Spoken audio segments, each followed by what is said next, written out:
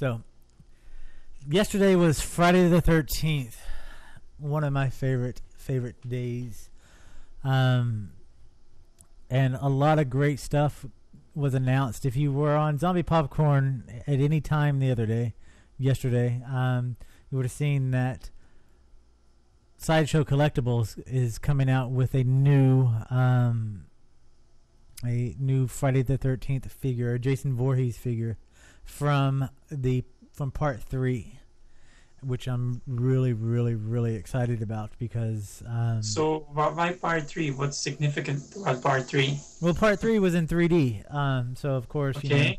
you know that's always going to have an awesome hold on me on that. Um, another awesome thing is that is where Jason got his mask. Oh, okay, I remember now. Yeah, so that's always al- excuse me, that's always great. Um, but the the figure itself looks pretty amazing. Um, let me see Who did the figure? Sideshow Collectibles did. Um, Okay. Let me see if I can pull it. up. I had it. I had it queued here for a second. Um, Okay, I, I have a link. I think I have to go see it now. Yeah, it's it's on um, Zombie Popcorn. You can check it out. Uh, Okay. Let me show everybody here. Let me open up this photo here.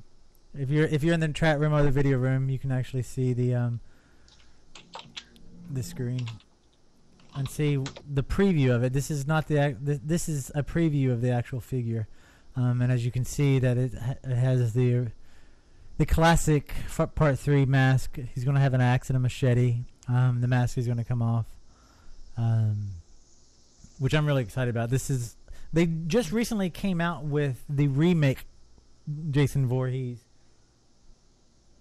and it it looks really awesome. But I didn't want to buy it because I w- I'm not as attached to the remake Jason as I am to the Part Three premium format figure. Um, so I'm Wow, definitely this looks awesome. I know. So the um, so I'm definitely going to have to pick this one up when it when it comes out. So Um, wait, this this Jason from the remake, that's like from the new movie. That's that was the figure from the new movie. Yeah, the the, old one. But this the one that they're doing now is from part three. Okay. Ah, he does look awesome. I'm so, so I'm so excited about that one. Um, I can't wait for that. And I, I want to play a quick video um, about what Fri- what Jason Voorhees uh, Friday Thirteenth does on his days off. So let me cue that up and let's play that real quick.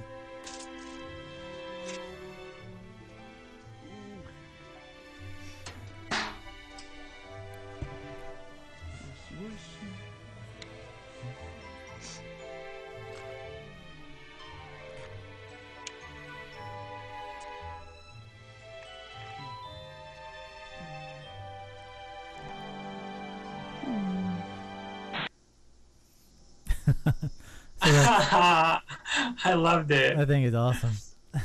my my favorite part was when he's choosing the outfit. So many choices.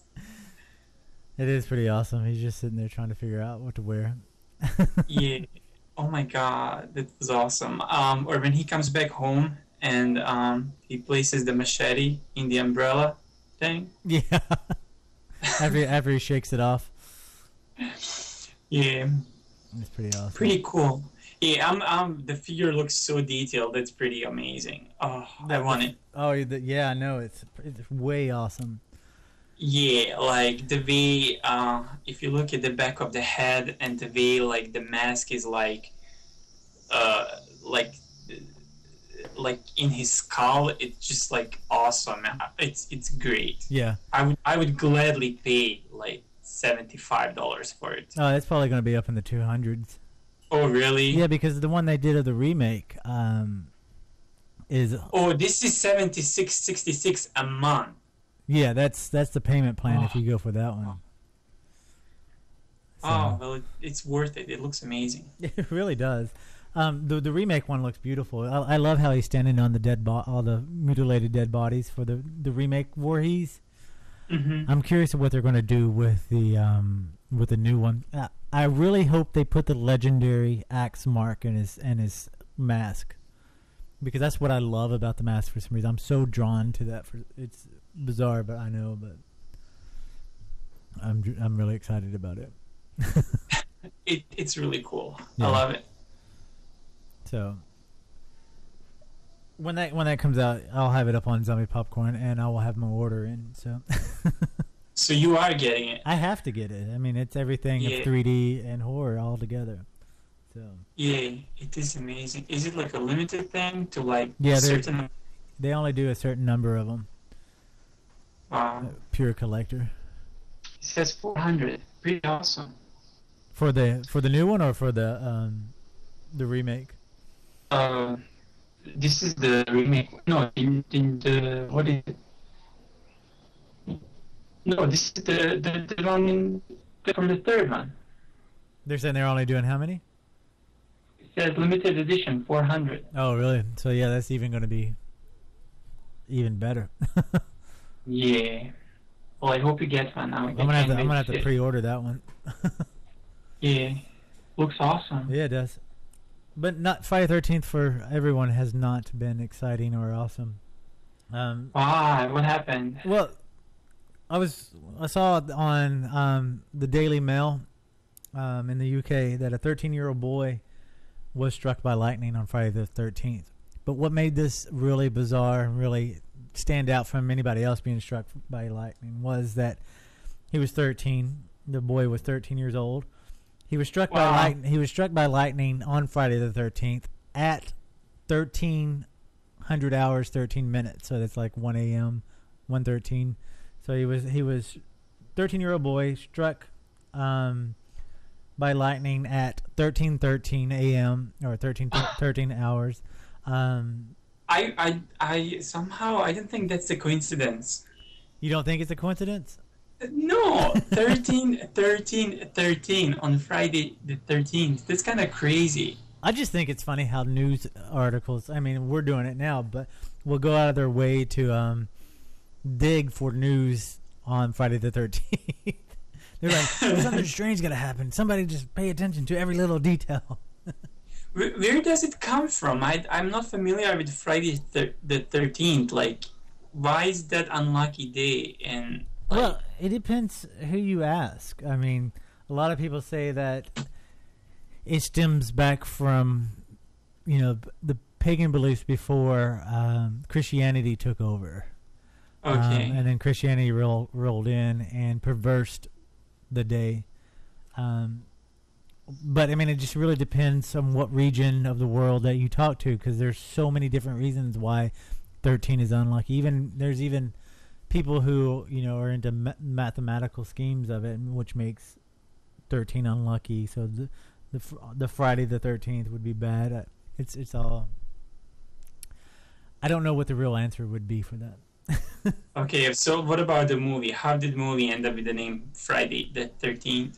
Well, I think um, they just just picked an unlucky, you know, Friday the Thirteenth. Hey, what's up, 3D Movie Man? He's in the chat room and he says, "What's up, Age? Solar?" He says hi to you. awesome. hey, 3D movie man. Um, and I think it's just all the murders, you know, happen on Friday the Thirteenth. Which technically, one of the flaws of the movies is that sometimes the murders go on to the next day, so which is not really Friday the Thirteenth, but. Well, I think you should stop watching them then because it's not the true thing now. Don't you think so? No, it's a good movie. Yeah, it is a very good movie. And then if I I like, I like the remake too. The remake was good. the remake was, re- I was really impressed with the remake. Yeah, I, a lot of people like are not happy with it, but like it was really good. Like I, I enjoyed it. I think if you take it for what it is, it turned out to be a pretty decent movie, and the cast was really good as well. Yeah, it wasn't as strong as the remake for Texas Chainsaw Massacre, but it was a good slasher movie. Yeah. I Can you I- believe I did not see Texas Chainsaw Massacre yet? Shame on me. either the the- part part one or part the- two, or any of The remake. The remake. That's what I'm saying. Because there's two of them. Yeah, I didn't see either, which is really, really embarrassing. Yeah, but I will get to it pretty soon. Uh, we're gonna have to end the conversation with Hasan tonight. I, um, so the rest of the show, okay. I promise I will watch it soon. Just leave me on. Don't cut me off. uh, you're cut off. No, just kidding. Oh, God. just kidding. We're gonna put you back on there. Thank you. But yeah. So, um, what was I gonna say? We were talking about. Oh, yeah, the remake the of. boy. Huh? The boy who got hit by a lightning. Yeah. So that that's really bizarre. That, for one, that that everybody would go out of their their way so much to um, find that m- much detail to report a horror story on Friday the Thirteenth, and two for that to actually happen to. But there's a flaw with this story. Because, like, in the story, it says it was 1 a.m. Wasn't 13 hours. Well, that would be one a.m. Yeah, but, like, uh, the is it like military time? Yeah. 13 is p.m. actually, not 1 a.m. Yeah, one a.m. would be zero one. It would be p.m. So Okay. yeah. Crazy. Well, I'm glad I wasn't that boy. Yeah. I agree. I'm glad I'm not that guy either. hey, but if it happened to you, like then you could say like, yeah, this is destiny. My name is Jason. I love these movies, and I got hit by lightning. This is not a coincidence. Well, I would rather be on the other end of the the Friday the Thirteenth Jason Voorhees. I would rather be the invincible mass murder um, person, not, not the person being hit by lightning on Friday the Thirteenth. Because then that would fall into the the Friday the Thirteenth series, not the actual slasher film. Hey, but maybe if you were to get hit by lightning and like you know maybe you could become invincible you could get some sort of power where you don't die you know and then I would become See- Spider Man or something. so maybe that's what was supposed to happen in the first place We need to find this kid and interview him. yes good luck with that Yeah, really. wow interesting story for sure It's crazy. You sent me a link.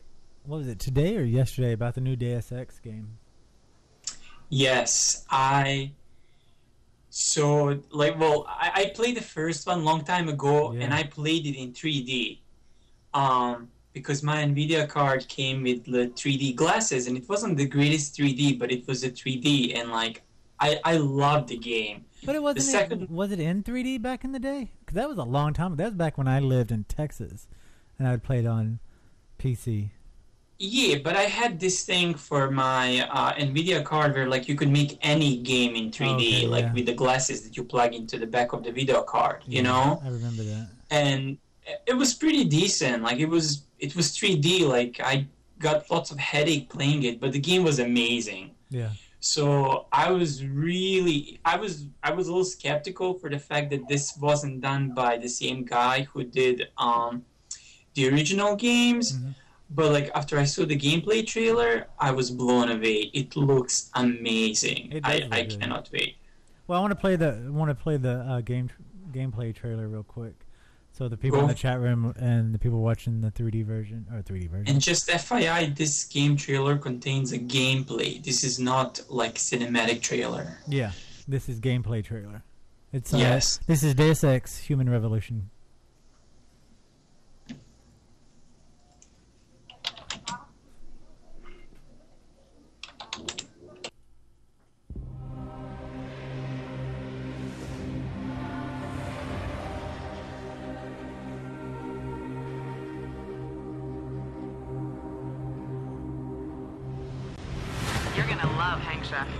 Twice the scum and half the space. Call me if you need any backup.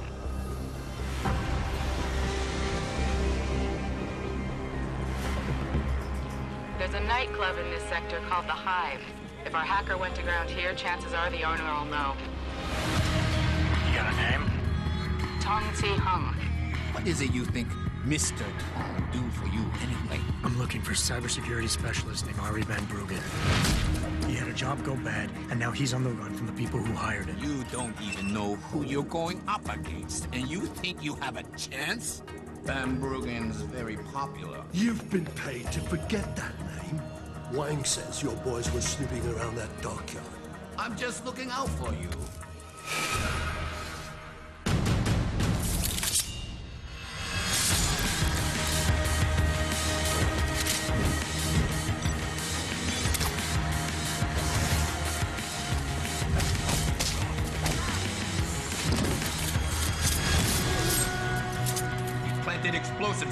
in the equipment shed. Call the boys. Blow the place. I'm going after the explosives. Roger that. Once I set them off, the guards will come running and give me free access to the ship. Shit!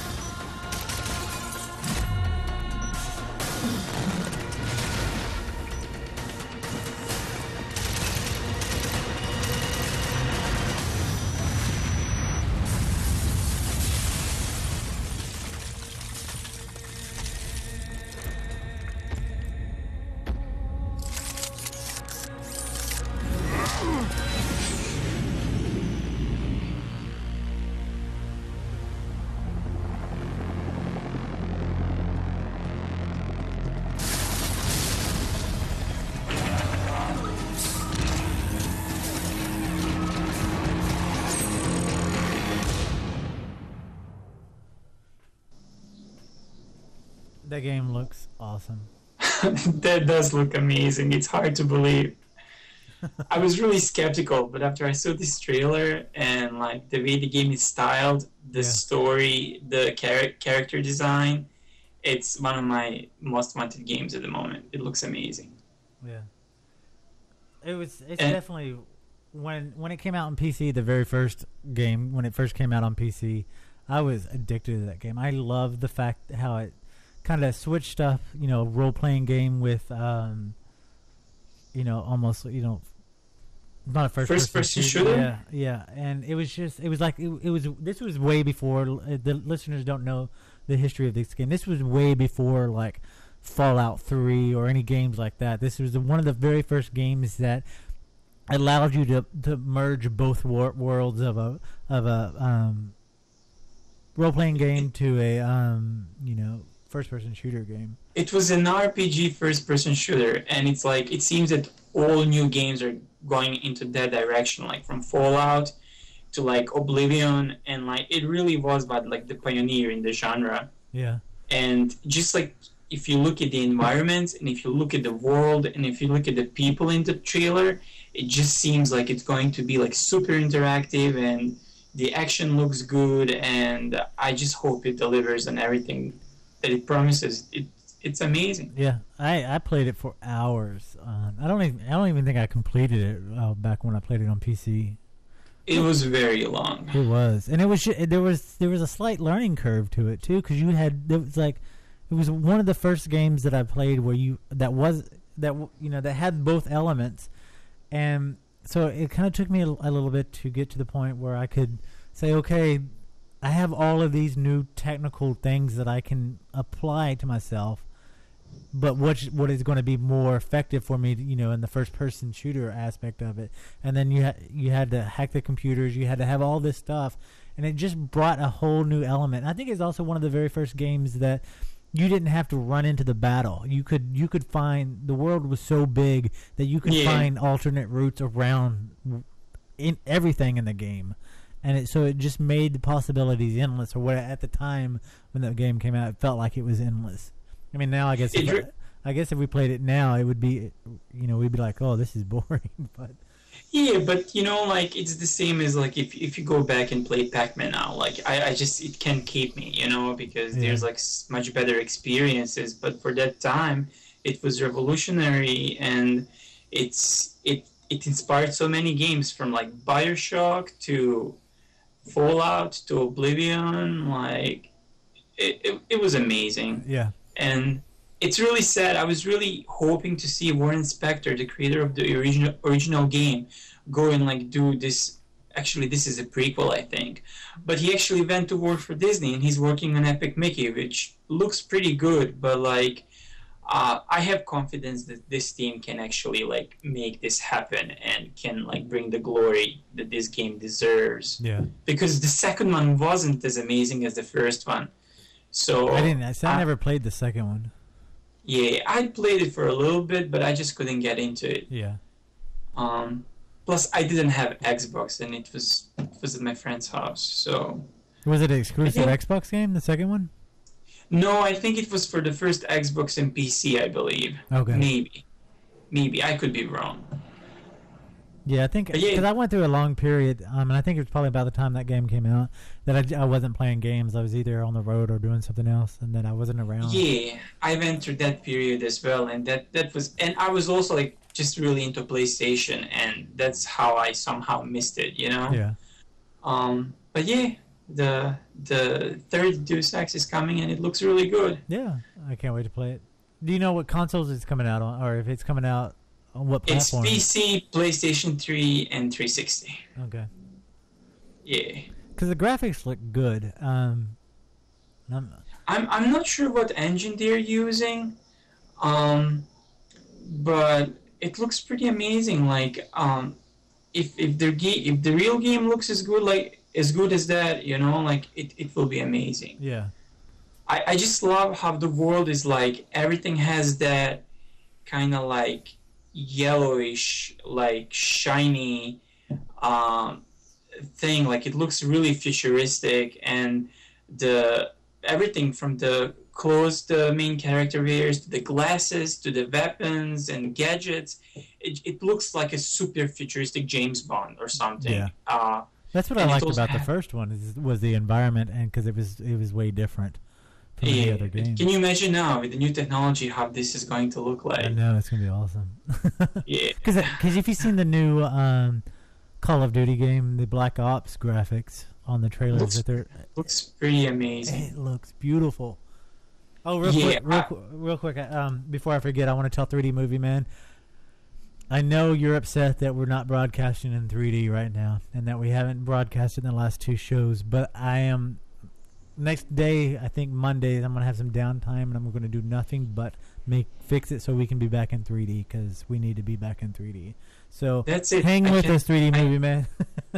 I, I can't watch the broadcast anymore because it's not in 3D. you can't What's watch it. wrong with you? I just I just don't want to. Yeah, no, it's It feels wrong. It, it it is wrong. It's just my 3D camera though. It's just decided to only have one lens work.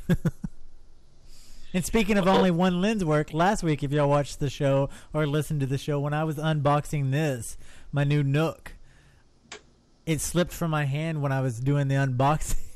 oh, and not only did it did it slip from my hand, but it landed on my U- one of my USB cables, broke it off off the motherboard. So I'm now minus one USB B plug-in. So I had to actually buy a splitter that's on its way now.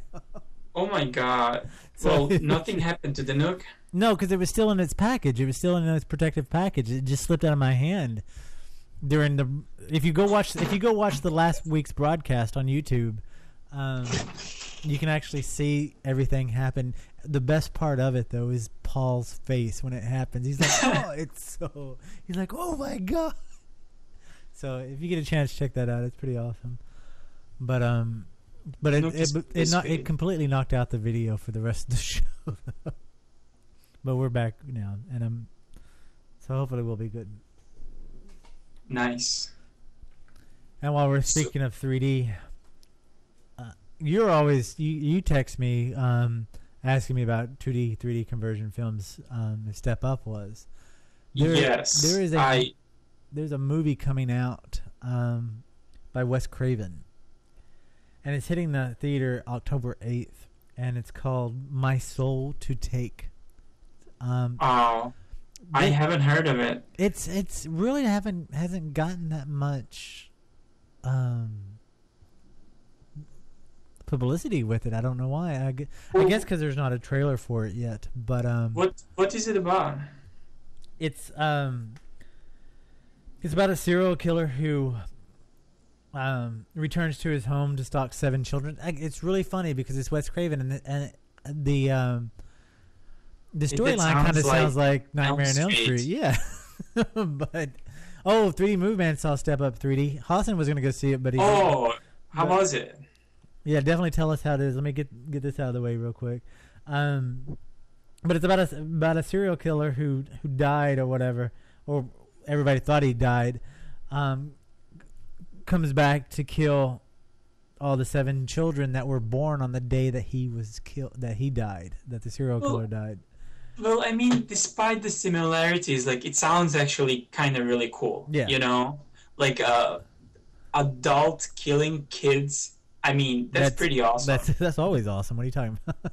yeah it's the only thing is like i'm very like uh disappointed by Wes Craven because after the Elm Elm Street you know like uh I just I just think he's overrated he haven't hasn't done anything that was like as exceptional you know yeah. Hey Um, Jen, what's up? Welcome to the chat room and zombie popcorn. But that is Hasan talking. Sorry, she just asked, "Who's that talking right now?" Sorry. hey Jen So yeah, yeah, I, I totally agree with you. Um, he hasn't done much after that. I mean, he has done stuff, but nothing that stood out.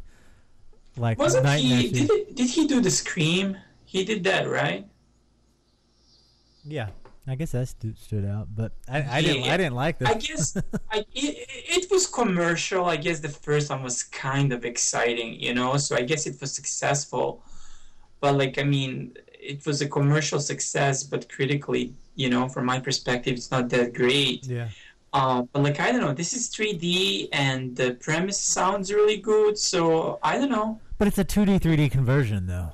Oh, is it? Yeah. Oh, I don't know if I'm excited anymore. Yeah, no, that's that's the whole thing. Because when I went to go see Last Airbender, it was horrible. 3D Movie Man saw Clash of the Titans and was, it was Oh. horrible. it was it was horrible like i just don't understand i think uh, me and my friend we went to see alice in 3d and we went to see clash of the titans in 3d and she's never seen any other 3d movies so she tells me like hasan i'm really skeptical about this i'm not sure if i want to pay money to go see the see 3d movies and i'm like well you know like you just haven't seen a real 3d movie you know so just like by that example, I'm afraid that this movie industry is actually going to burn people, and they will like, why would I pay extra money for something that's not that great? You know? Yeah, no, and it totally will. You should totally tell your story about your Toy Story 3D experience.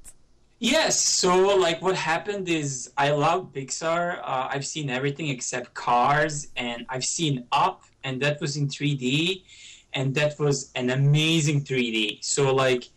we were already getting ready to go see Toy Story, and one of my friends was like, "Oh, you shouldn't go see it. The 3D sucked." And like, I'm like, I just dismissed her. I was like, "Whatever. What does she know about 3D? I'll go see it. It's Pixar, you know.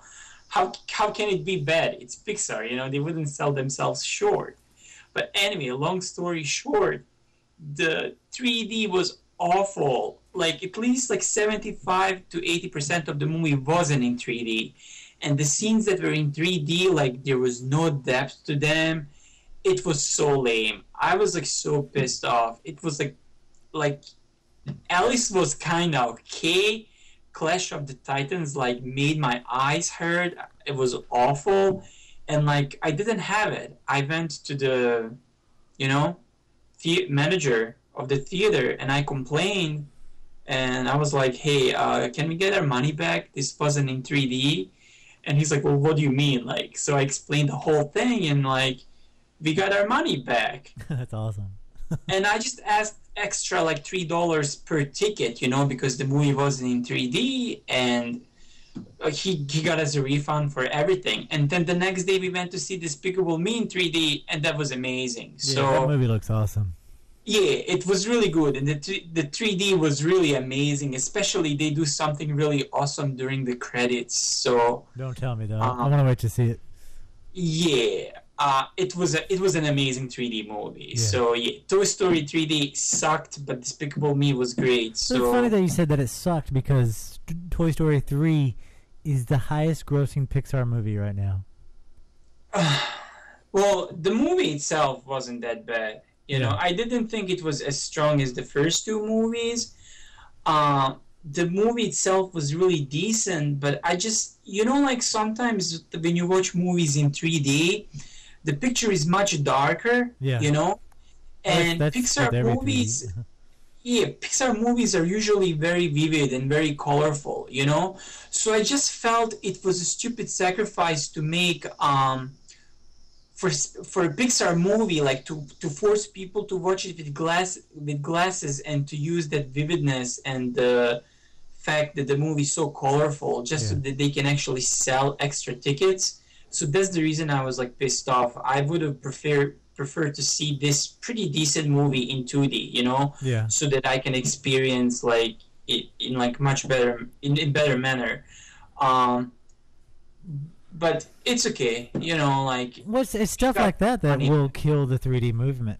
Um, is when they when studios and um, just want to half-ass do it. They just want to pump out 2D conversions or just half-ass 3D, and it, and it pisses people off. Nobody wants to go back to see it. Well, see, the thing is, I I'm really pissed off that Pixar would sell themselves like this. But I guess they're under the contract, and Disney can probably do whatever they want. You know. Yeah. Uh, I mean, it's an it's an embarrassing. In 3D movies, man says that How to Train Your Dragon is the best 3D movie this year. Yeah, that's to 3D this year. cartoon. Yeah. I and I have to yet. agree. I've seen it in IMAX, and it was pretty Really amazing. good. He Like also said that e- the dancing was cool and the plot was pretty weak in Step Up 3D. Which is- well, the the thing about Step Up Three, this plot about Step Up 3D, it's like you really have to take it for what it is. You know, yeah. Step Up to the Streets was amazing. I haven't seen any of the Step Up movies, so I cannot comment on how amazing it is or how not amazing it is. well, I just think it's it's a personal thing. You know. Yeah. But 3D Movie Man said he enjoyed it, I guess. Or did you say that? He just said you saw it. yeah, But there I want to go movie. see it. Um, there is a 3D movie coming out this Friday, and I have to go see it. And it's it's Piranha 3D. It's coming out this Friday. Looks amazing. Oh my gosh! Did you see the nine minutes um, that was leaked out from Comic Con? no. Oh, you, maybe I need to pull that up. Let's talk. Let's talk about stuff Why I um, look for this video because you you have to see this. It's really amazing. What's this? I know this is kind of like a B movie, but like, what about the budget? How is the budget for this movie? It it's amazing. Uh, it's really good. Um, yeah, I, I, I, I like that. Like, um, I, there's a lot of like, if you go on Netflix and you browse through like B movie horror section, and there's like so much crap, you know. But then occasionally you you come across like a gem, you know, something like um. Uh, what's that movie? I can't remember the name. Uh, with S. Which one? Uh like it's happening in that little city it, it's like like big budget b movie it's, oh god i can't remember slither slither Oh You yeah, yeah. know? that's yeah. That was um, a James Gunn movie. yeah He like did uh, occasionally and Juliet. you come across some like a b movie on that level and it's like amazing you know and Yeah. piranha 3d seems to be in like that genre you know Well, I think it's it's going to be awesome just because um, they they took they did what if you're going to do a remake of a movie, they did the the way you should do it. You should do it in the way in, the, in this uh, I can't even talk and the way that they did it because it's just so amazing. It's so over the top. So when you watch this leaked footage. You will freak out. You would just go, "Yeah, this movie's going to be amazing in 3D. This this is a half. You have to go see it opening night." and and this is shot in 3d right Um. Well.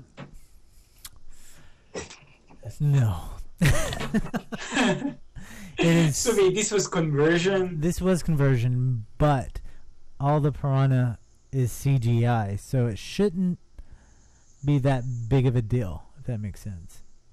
Okay, well, I see. That's the reason why somebody would think that, you know, the Toy Story 3 would be an easy conversion, you know, because it's all CGI, but actually it wasn't that great. But regardless of the fact whether it's 3D or not, you know, like the movie itself looks really awesome. Yeah. You know. I'm trying to find one. A lot of the videos have been taken off, um, taken down. Oh, I think I found one. Let me see. But yeah, I mean, after watching the first nine minutes of the, okay, this is a shaky cam footage because it was taken at Comic Con. Okay. Um, let me get it queued up. This this footage was a handy cam at Comic Con. Um, so it is shaky at times. It's not the best. I mean, it's leaked footage, but you get an idea of how amazing this movie's going to be when it opens this weekend, and if the 3D is as good as it seems it's going to be. Because when I was reading before I play it, I was reading about the director and the people involved of doing the film, is the detail they went to to make 3D work on this. The detail that they went to of of the floating eggs that you'll see at the first of this video to make it seem like it's really there in front of your face. I mean, it's pure gimmick, and I think I think they execute it very well. So here is the first nine minutes of Piranha 3D. Okay, let's see.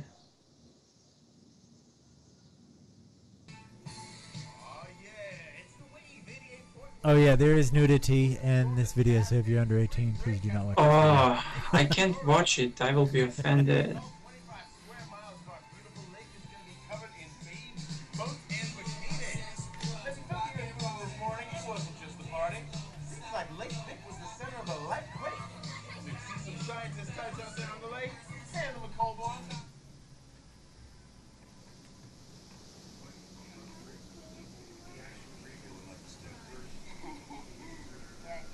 I know Siri's got a plug.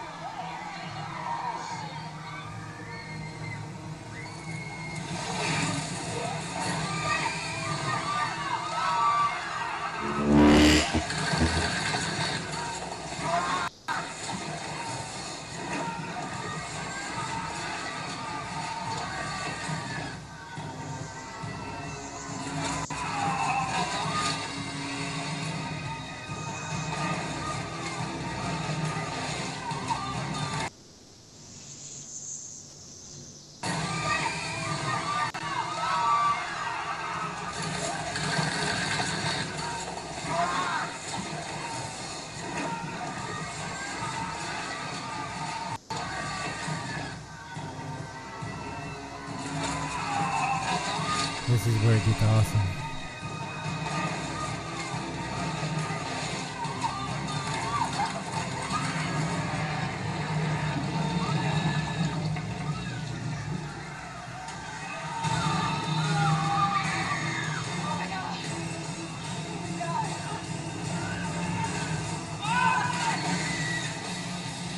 One of my favorite scenes is coming up now.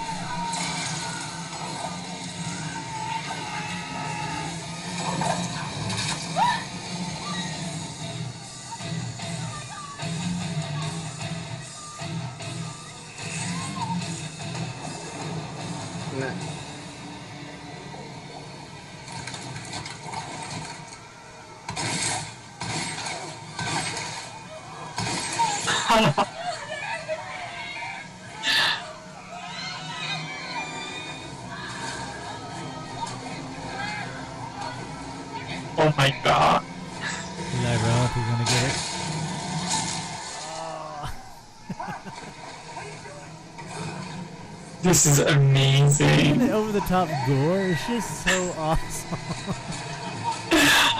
Oh my god. I, I can't wait to see it.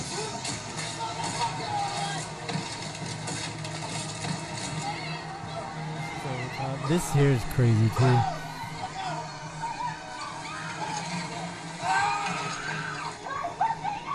Her hair is all caught in the blade.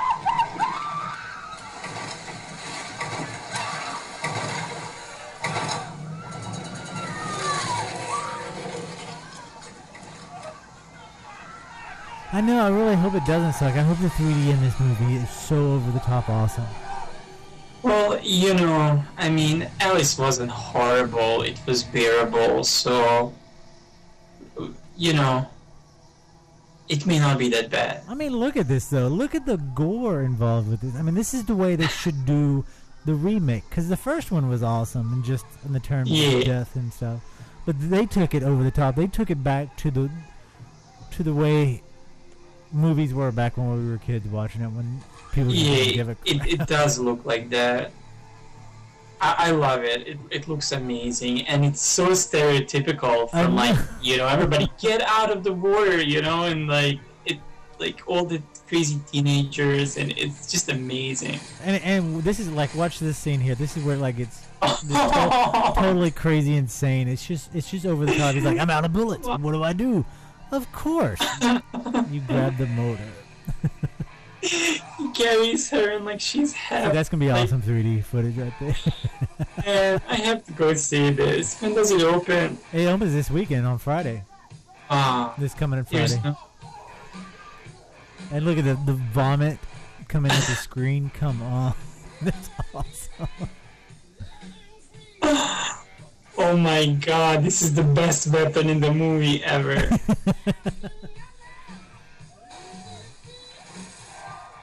oh my god. Oh.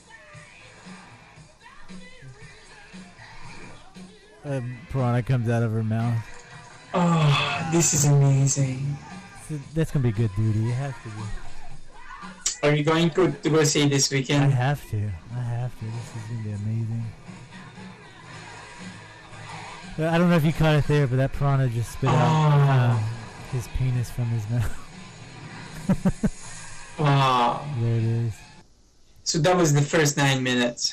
Well, I they say it's the first nine minutes, but um, I think it's so heavily edited.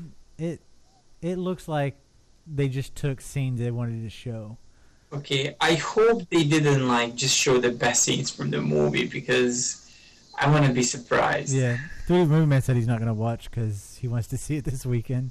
I don't blame him, but like I felt obligated to watch it. I you know, know, 'cause- because I couldn't see it. I mean, because even it's I. Th- I think it's gonna be so much fun just because of the, the over the top kills and the deaths and um It looks amazing. yeah Um, even if the 3D is not that great, I'm looking forward to see it. Yeah, but I'm gonna be I'm gonna be let down if it's a, one another cheap 3D conversion.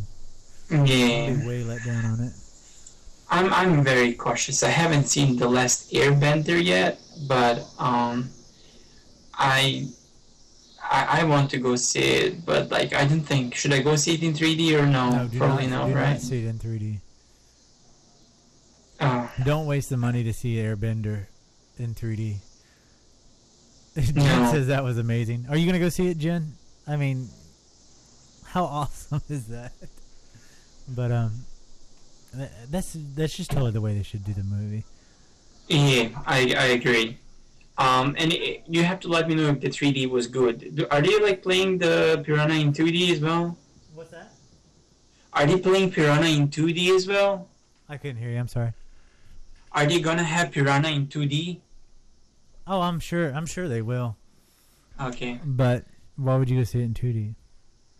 Well, if you say the 3D sucks after you see it, then you know Well, I may go see it in 2D. Well, if it sucks, you shouldn't go see it. You should you should tell the studios that you're not going to pay for half-ass rip-off of 3D movies.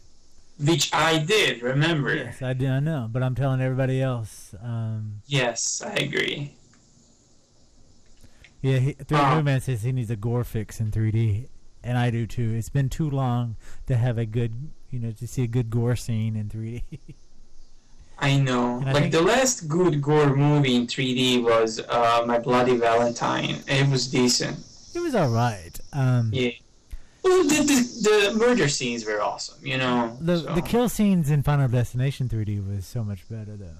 Yeah, which I still have to see, and I was actually asking you if you remember whether I should watch it in 2D or not. You should watch it in 3D, but um, just for the kill scenes. But if it's only available to you in 2D, Yeah, I'd- I'd it's be- only in 2D, and I read the reviews, and they were horrible. And after the third one sucked ass, I was like, oh, should I watch this or no? Like, I just wasn't sure. well, they're doing another Final Destination movie. Wasn't this the final destination? No, they're they've already they're talking about doing another one right now Wow, it's So- probably because the this one made like lots of money. because it was 3D. 3D saved that movie. well, That, like that's probably what happened. um, 3D Movements is waiting watching 3D. But that's what they're doing with the Saw franchise. They're saying that this is the last one, and it's going to be in 3D. But there's already rumors out in the mill that they're uh, working on a, another one. Of course they are. Th- those movies make more. Mo- the budget is like pretty low, and each new one makes like more and more money. So Well- like as long as uh, the Saw makes enough money, and it looks like the 3D one is going to make enough money, you can count on the fact that there will be um, another one Oh, after there that. definitely You know, another one because they they've been inducted into the Guinness Book of World Records for the highest grossing series franchise of of a horror movie, which is the Ah. Franchise. So So I was actually I just seen the first one, and for some reason I I have this crazy idea where I should rent the the other five. Was it like there's like six now? I'm not a fan of them. I don't know. I'm just like I just want to see it. I don't know why. Like, and I'm trying to decide whether I should see it or not. You know? I'm gonna go see the 3D one, but Yeah, me too. But do you think I should catch up before I see Saw Seven I in don't- 3D? I don't really think that it's gonna really hurt the storyline.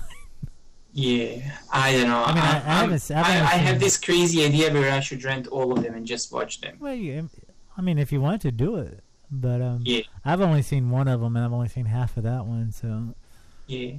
Okay, so I have some information in regards to the Final Destination. Okay. Um, the fourth one in 3D. It cost 40 million dollars production budget, and I think that includes marketing budget as well. yeah, And it made 186 million dollars worldwide. and that's so that's a lot of money. yeah, and that's because it was in 3D. It wouldn't. I don't think it would have done that if it wasn't in 3D.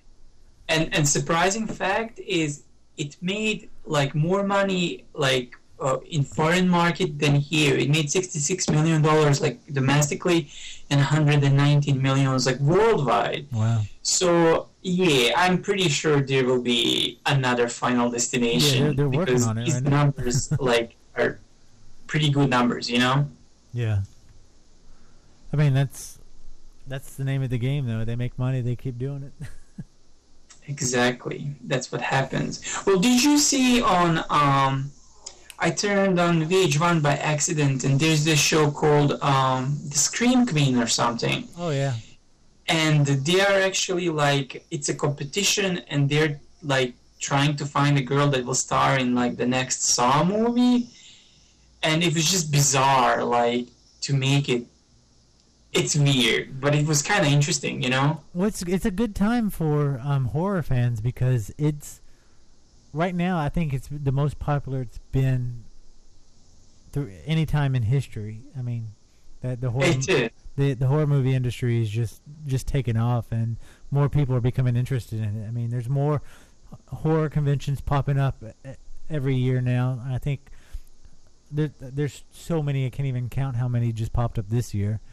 Um, So, do you think this has anything to do with Twilight series? You know what? It I'm sure Twilight had played a part in it to bring in a ju- younger generation, but I also think Harry Potter. I, I know it's not a horror movie, but I think Harry. It's Po- pretty wicked, though, you know. yeah, but I think it, it kind of brought it in and opened up more younger audience to the idea of you know of the fantasy sci-fi world, which is obviously anytime you jump into the sci-fi world, you're going to jump into the the horror genre just because they're so closely connected. That's true, and, and you know what? Those Harry Potter movies, they're pretty wicked. I know people who take children to see it, and the kids are like, "Oh my god, like this, this is scary," you know. Yeah, I mean They the- are pretty dark. and and I think that's what has the appeal to it. I mean, plus everybody Yeah. addicted to reading the books, um, and then Yeah. you know compare you know not compare but um, combine that with the Twilight series, also bringing in the youth culture, and th- I think that's why the the remakes right now are so overwhelming because we're at that time where we have such a large youth culture involved with the horror movie genre because of Twilight and because of movies similar to that. Um, so they're trying to bring in the new blood for Friday the Thirteenth, and they're trying to bring in the new blood for you know the Saw series and all Yeah. that. So, are they doing the sequel to the remake of the Friday the Thirteenth? Dude, there's so many rumors about it, and none of it's been confirmed yet that I that I've read. So I don't know. I everything I'm reading though, it's it's supposed to be a sequel to Friday the Thirteenth, and it's going to be in 3D. But I'm also seeing the same thing about how they're going to bring do a new Halloween without Rob Zombie, and it's going to be in 3D. I think uh-huh. I think everything right now, anytime that any information is leaked about any movie, even if it's not horror or is that it's going to be in 3D. Everything is always it's going to be in 3D just because it's it's a moneymaker for the industry, and every and the industry knows that they can charge, you know, extra money for the the 3D movies. So th- of course the industry's going to push this needs to be in 3D because we'll make three extra dollars for every ticket made.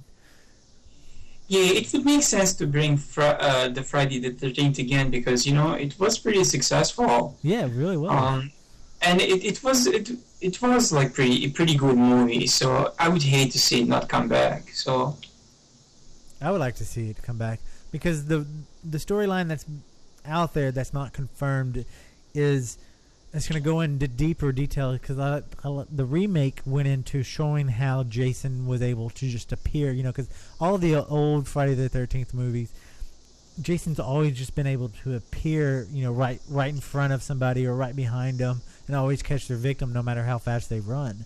And I like Yeah. I like how the remake kind of gave us an answer how he does that because he has all these underground tunnels and he's everything's connected um, and he you know he lives there constantly so he has he's very entrenched um, Yeah. and I kind of like how they did that and from what I understand that if they do the sequel it's going to go into more detail about that it's going to go into more of the backstory of that yeah. so Oh, why why do you think so many people didn't like the remake? Because I know a lot of fans of the of the of the series were just like were dismissing it left and right. And I remember watching it one morning and like I, I just had so much fun. I just didn't want it to end. It was an awesome movie. Yeah, um, I think anytime you do a remake, it doesn't matter how awesome the remake is. Yeah. I mean, because people are going to hate it. People are people, the you know the diehard fans are going to say they hate it. I mean, because if you look at the remake of Dawn of the Dead and you look at the remake of um, Texas Chainsaw Massacre, both of those remakes are hardcore, solid, excellent films. Exactly. And you could Google it right now and say the Dawn of the Dead remake and see probably the first hundred sites talking about how shitty that movie is and how they shouldn't do remakes. But uh, Um, well, I, I like the fact that they get, you know, like because I crave zombie movies. Everything zombie I crave, you know? yeah, So sometimes I just don't understand these fans. Like, you know, like you should be happy when they give like a big budget to like one of these guys, you know, like to make, to get their vision like come true. Yeah. What was the last two? It was Dawn of the Dead, and what was the other one that was remade also? the the Dead movie, or Yeah. um, well, they've all been remade at one point in time. I mean, you could even But the at one that was like a big budget one happening in the mall, that's Dawn of the yeah, Dead, that's Dawn of right? the Dead And there, wasn't there another one that was also remade with big budget recently? with big budget. Um, it's not coming to mind. I don't. Or you know, maybe I'm thinking of that Dennis Hopper zombie movie. What was that? That was happening. Um, you know what I'm talking about? Dennis Hopper zombie movie. Yeah, I mean it, it's a it's it's a it, it is in the series like Dawn of the Dead series. You know, happening in Pittsburgh and like you remember remember when um they put like the blockades around downtown and then zombies realize they can go through water and like the Dennis Hopper is in it. Land of the Dead. Was that Land of the Dead? Yeah. Okay, so that wasn't the remake, wasn't it? No, that was uh, and just an extension on to the z- zombie. Okay, okay. So that's the reason. For some reason, I was under impression that was a remake, but that that was okay. I see. Yeah. Yeah, that, that, that was a good movie too. You know. Yeah, it it was a good movie. Um, I mean, to an extent, it wasn't as good as the later films that he did. Because I, I went to go see Land of the Dead at the theater. I was on tour, and we all went to go see it. And I mean, it's good, but I felt really let down with it when I saw it. Hold on for a second. Okay.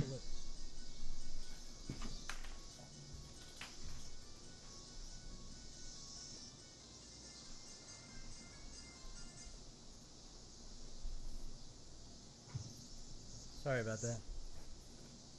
Welcome back. What's up? So when when did Land of the Dead come out? What's that? When did Land of the Dead come out? hold on.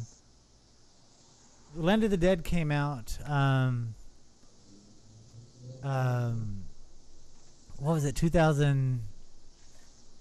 Crap, I can't even think. Yeah, do a Google on it. And that was the Romero flick, right? Yeah, that, was that, was, his, his like his first. Um, Okay, that came that's out in 2005. 2005. Yeah. Okay, I, I, I just looked it up, and the, it was a pretty big budget, fifteen million dollars. Uh, and that that's the one with Dennis Hopper, right? yeah. Yes, it was uh, John Leguizamo, Dennis Hopper, um, and you know what? I'm looking here. The movie made like forty-six million dollars. It costed fifteen million So, it was pretty successful. So that's why I don't understand why don't they give him uh, a substantial budget so he can make his vision come true. You know? I don't know when he he just just did um, Survival of the Dead. I did not see that, but I've seen Diary of the Dead, and it was pretty decent. What's that? I, I've seen the Diary of the Dead, and I liked that. Yeah, Diary of the Dead was fun. Um, I haven't seen Survival, but it only um, it only came out on video on demand, Xbox, and went straight to DVD. Yeah, I have to see it. I, I usually give this man a budget to make an awesome zombie, one more awesome zombie movie. You know? I don't know. You just you're you're um, you were cutting out on me on that. Can you hear me now? Yeah. I said I just like wish somebody would give this man a budget to make another awesome zombie movie. Yeah. Yeah. He needed to do more. Yeah, definitely. And the Dead remake wasn't bad at all. So that's that's the whole topic that we started this with. Um, it made a lot of money and it was pretty decent, but the fans are just kind of like, ah, no, like you know, don't do enough more movies. And it was Zack Snyder. He's a pretty good director, you know. Yeah, he is really a good a good um, director. Yeah, he did 300. He did Watchmen. Um, he's doing this new movie. Um, I forgot the name of it. It's like over the top with those like girls. It's happening in the 50s or something. Uh, I forgot the name of it. So Oh, I don't know. um, is one of the girls Baby Doll? Uh, Who's doing that?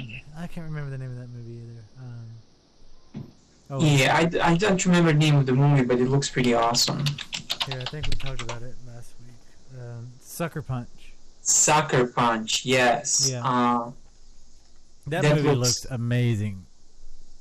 Yes, I I cannot wait. That looks amazing as well. You know, and I also think he is tied to Army of the Dead somehow. The remake of Army of the Dead. Yeah. Uh, I read that somewhere on the line. So anyway, I don't think I've seen Uh, Army of the Dead. Was that I, I don't think I've seen Army of the Dead. um?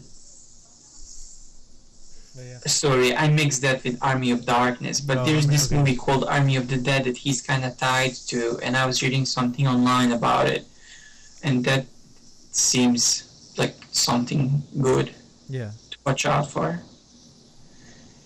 Yeah, but um, anyway, Dawn of the Dead, a really good remake, um, and Friday the Thirteenth, a really good remake as well. Not Yeah. sure why the fans are like Well, I just, so. I just think critis- people want to, you know, they don't. People, most a lot of people don't like change, and they don't like stuff that they, you know that they like. They don't want something, you know. I, I guess they cling to it and say this, you know, this is this is, I I love this. This is something that's part of me.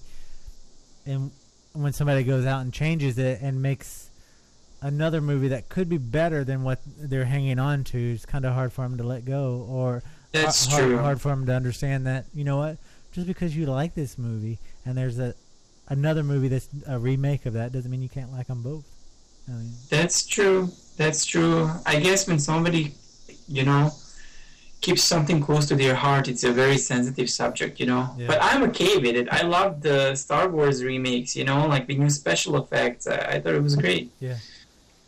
I don't know And- I, I try to judge a film going in on its own merits and then after watching it comparing it to the you know other one it's like like the nightmare the nightmare on elm street remake i'm Yeah. sorry that was not that good of a movie I you know, it, it wasn't good. I had fun watching it, you know, and I don't know if I had fun watching it because, like, I, I, I was comparing it to the original one that I love so much. Yeah. And so I, I'm not sure if I had fun because it was a really good movie or just because it was fun to watch from, you know, certain point of view where like, okay, let me see how they're going to do this scene, Yeah. you know?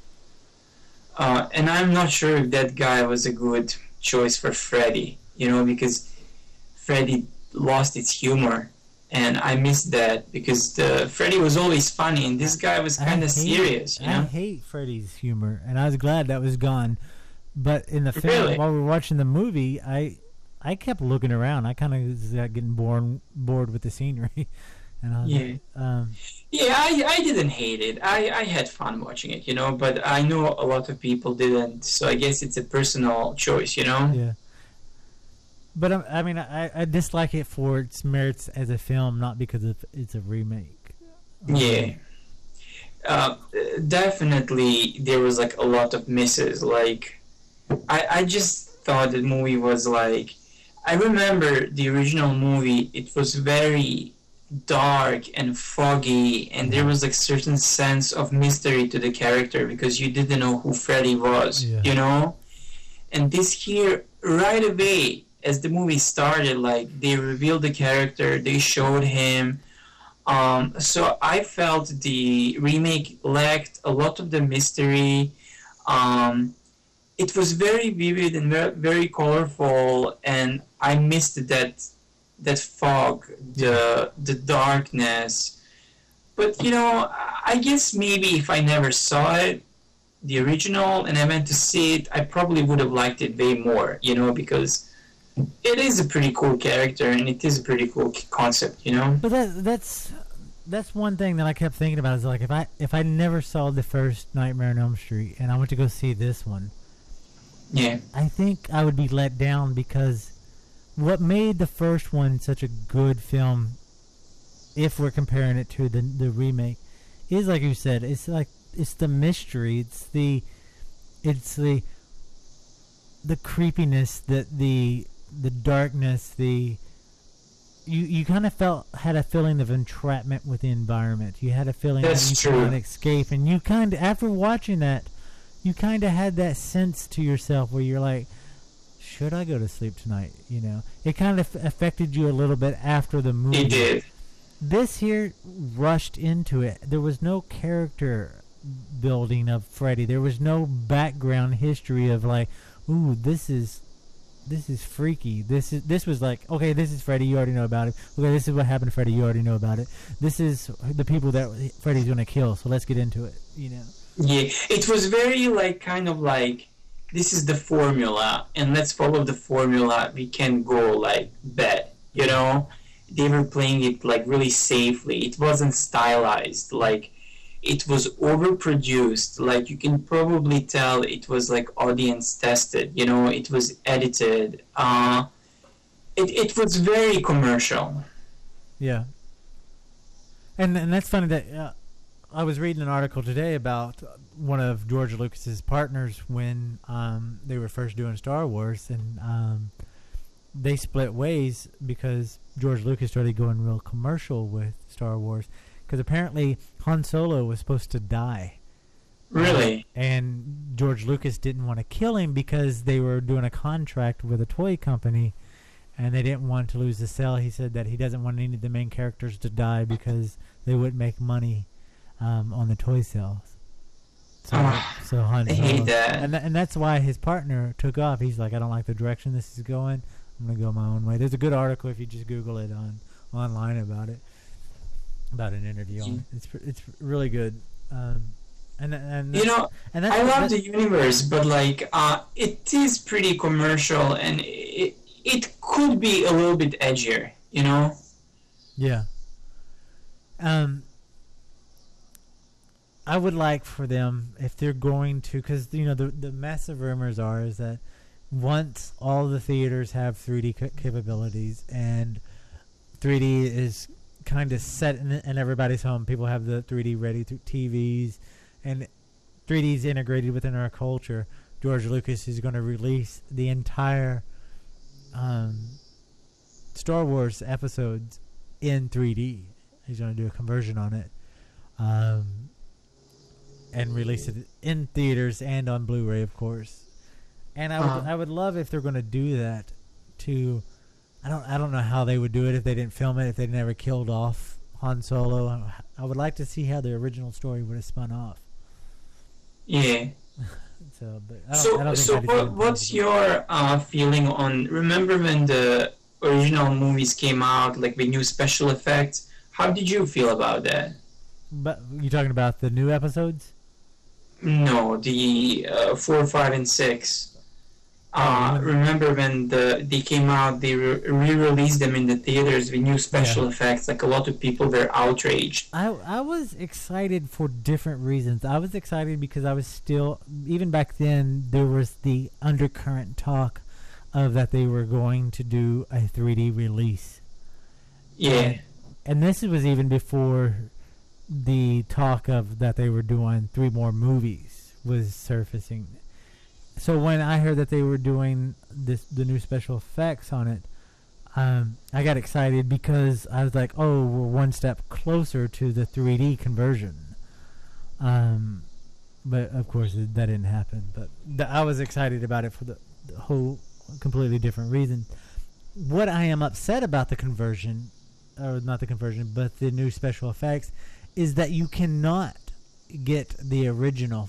You cannot go anywhere and buy the original um, effects for Star Wars. You can only get the new special effects, which I would like to have both in my collection. But um, if you don't, if you don't already have it in your collection, there's no way you can go back and get it. Did we lose Hasan? Hello. I think we did. So yeah. So while we're waiting to get Hasan back, um, 3D Movie Man in the chat room has bought a new 3D camera, an HD 3D camera, and he just sent me a um, a video for it that, of one of the very first videos he made in 3D with his brand new um, 3D camera. So let's take a moment and watch that. This is a new video that 3D Movie Man created. Let me get that all squared up so we can get everything in there. All right. Courtesy of 3D Movie Man. You can go to 3D Movie Man at the youtube.com to view this video if you want to see it in first person. But here it is.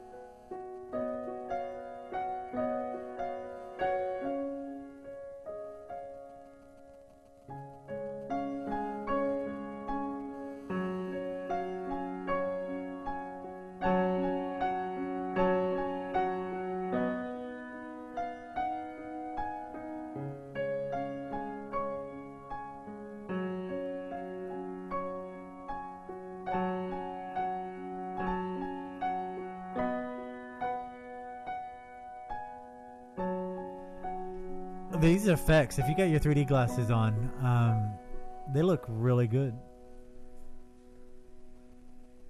That was 3D Movie Man's new 3D HD camera. Um, That's exciting.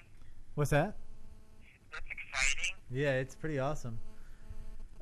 We lost Need one of those. we lost Hasan on Skype, so we we now have him on the phone. So he may sound a little different to you, but he's here with us.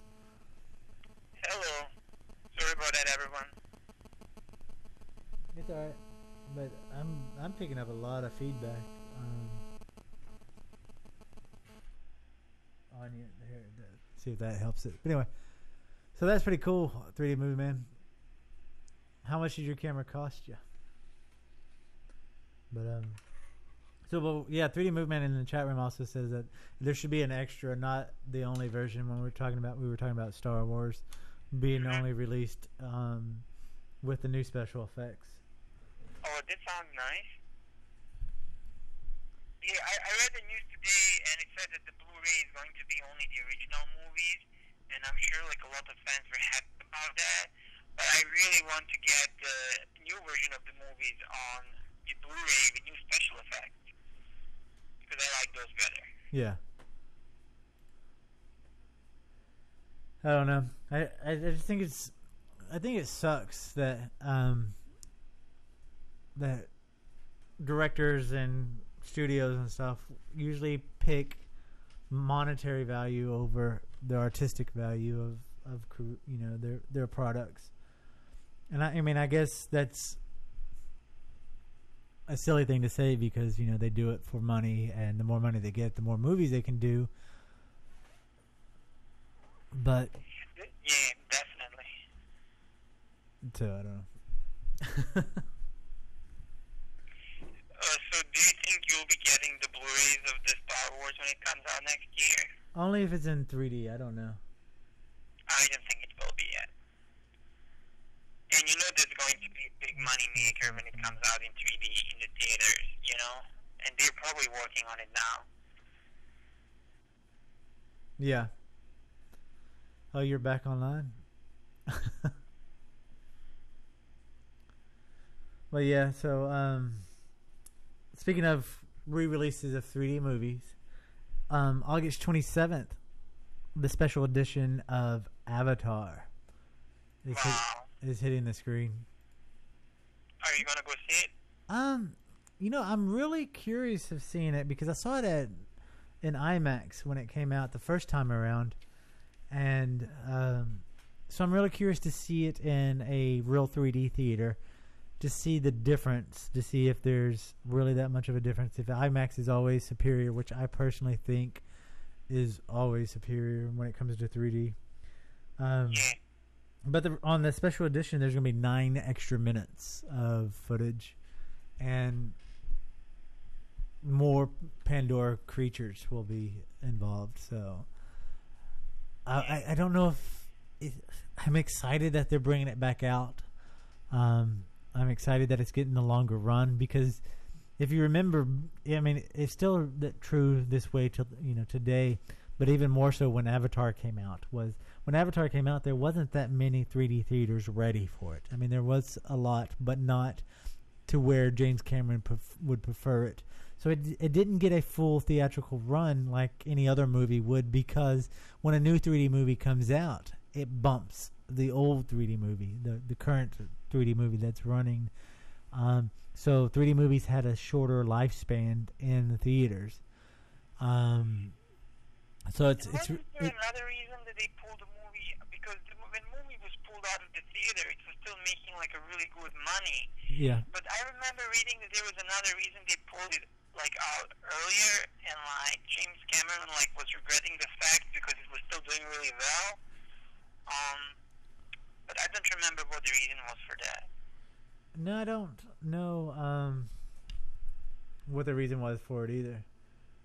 I mean, I just, uh, I mean, just the history with 3D movies, it's just because they get bumped for the previous one. And it looks like we got you back on Skype, so I'm going to switch you back over. I'll help you on Skype. Bye. Got you. So we got Hasan back on there. Um, and if anybody else wants to call in, feel free to call in. Um, you're always welcome to do so. Um, but yeah, I didn't. I th- I've, I've always thought and I've always read that it was that it was Hey. bumped because of the other because of the other 3D movies. But even if it even if it was doing good in the theaters, so I don't know. But I want to I want to play the um the special edition trailer for the Avatar release real quick.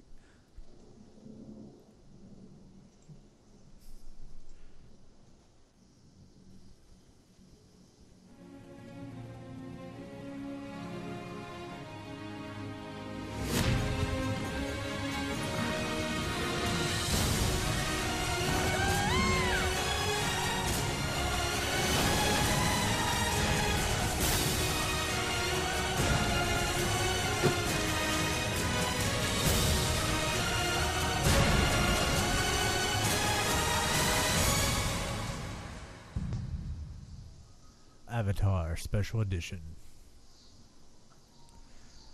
Are you gonna go see it, Hasan? Uh, yeah, definitely. Uh, the reason why I'm gonna go see it is because my friend never saw it in 3D, and that's the friend that was that I was talking about like moments ago that was complaining about the fact that we're wasting money on these bad 3D movies. You know. Yeah. So I I always wanted to go back and see it again because it was really amazing and it was really inspirational. I enjoyed it. Um, so now I have a good reason. She didn't see it, and we're definitely gonna go check it out. Awesome. Yeah. Um, and I'm looking forward to the new nine minutes, and um, I, I this is really nerdy, but like I'm I'm an interface designer, and I design a lot of like uh, cool interfaces. Uh, and lately, I'm doing like like a lot of prototypes for like the video game interfaces and futuristic interfaces, because my dream job is to get job and like build interfaces for the movies. You know, like the stuff that they have on the computer in the movies. So one of my favorite things in Avatar was like the video screens, the technology on the computers that they were using. It looked pretty amazing. Yeah. So that's another reason I want to go back and I want to see that because it's really inspirational for me for my work, you know? Yeah. And plus, it's just a fun movie to watch. Exactly. That's another reason. So yeah, I'm definitely going back. It's it was it was an awesome experience. Yeah. and I get to show my friend the fact that 3D movies do not suck. And that's a good movie to show them that it does not suck. I think the two best movies are going to be Avatar and Tron. Uh, the Tron looks amazing. Oh I'm just kind of like I cannot wait. I'm so excited. I'm li- I'm like jumping up and down. I'm so excited to see it. Um, the new trailer that was released during Comic Con hmm looks amazing.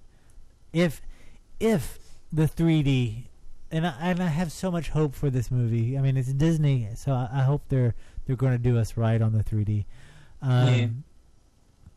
I think it's going to be great. And 3D Movie Man brings up a great point. Um, Resident Evil 3D that looks like it's going to be awesome 3D, and that that comes out September 10th, which Yeah, is and, you, really and you know soon. what? You know when, when you see interviews with Milla Jovovich, you know like what's the selling point? Like the stuff that she keeps bringing every single time. Yeah, The 3D. That's the only thing that she's saying. Like James Cameron, Cameron's technology. So I know. this is made for 3D, and that's how they're selling it. This- and I hope it's a huge success. Oh, I think it will be. I think it's going to be one of the best Resident Evil um, films to date. The 3D is going to be over the top. Oh, let's. I want to play the, the trailer for it right now, just so if if anybody Go has for it. it. I want to see it again. Oh, it's so awesome. Here it is.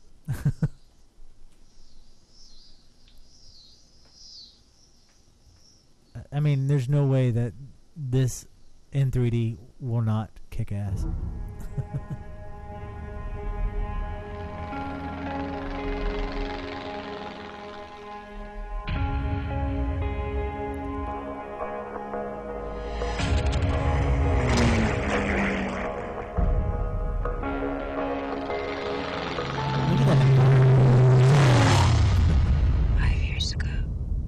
a escaped and everybody died.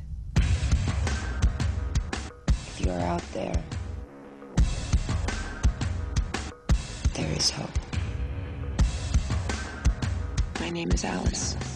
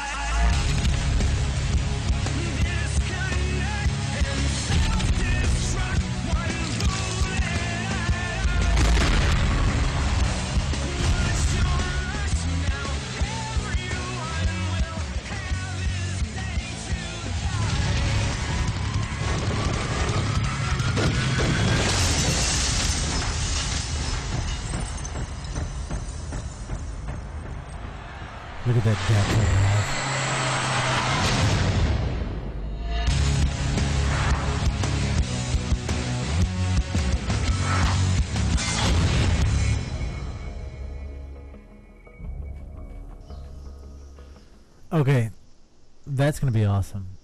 okay, well, l- let me tell you the reason why I'm really excited about this. Um, Paul Anderson, uh, the reason this movie is like this is because it's written for 3D, you know? Yeah. Um, it like with James Cameron's like Avatar, like the 3D was there, but like it wasn't like cheesy, like it was just used to like bring you in, like there was not there was no like cheesy like things flying in your face and it, it was just like really sophisticated 3D that's used to bring you closer to the world. Well, to bring but you the Resident environment, I mean- Evil is written for 3D, Yeah. and like so it's just going to be this like over the top action and like zombies and monsters, and it's just going to be amazing. Yeah, I think it's going to be a phenomenal film, and I'm really excited. It comes out September 10th. Um, 3D Movie Man in the chat room says that he's actually seen the 3D trailer and it looks pretty good. Wow. I'm shocked that 3D Movie Man says looks pretty good. As much as excitement that I have just seeing the 2D version of it, imagining the 3D, he kind of scares me that he says looks pretty good because I know 3D Movie Man when he talks about 3D movies, and if it's epic and phenomenal, he usually says so. So. Wow. he- So is this something we should be concerned about? That's what, what I'm I'm reading into his writing. I hope I'm over reading into that because I want this movie to be epic. I want it to, in terms of 3D, I want it to put 3D back on the map because right now it's taking a lot of blows. It's taking a lot of hits with the consumers, um, and they don't want to see 3D movies. There's so many people out there right now talking trash about 3D movies, and if Resident Evil fails in the 3D realm, it's it's not gonna look it's not gonna be a good year until Tron comes out. Yeah. Which is December, right? Because yeah, because Resident I Evil have has faith in this movie. I do too, but 3D movie man needs to kind of clear up. It looks pretty good. um, he said that he goes no. He goes there's a lot of stuff popping out of the screen, so that's always good.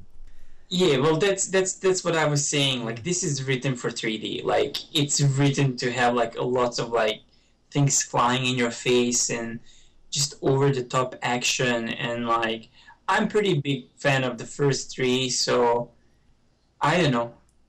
We'll see what happens. I, I'll be there on the on the opening day. I'm. This is my most wanted movie at the moment. I I mean if yeah, I mean I agree with you that this is written for 3D.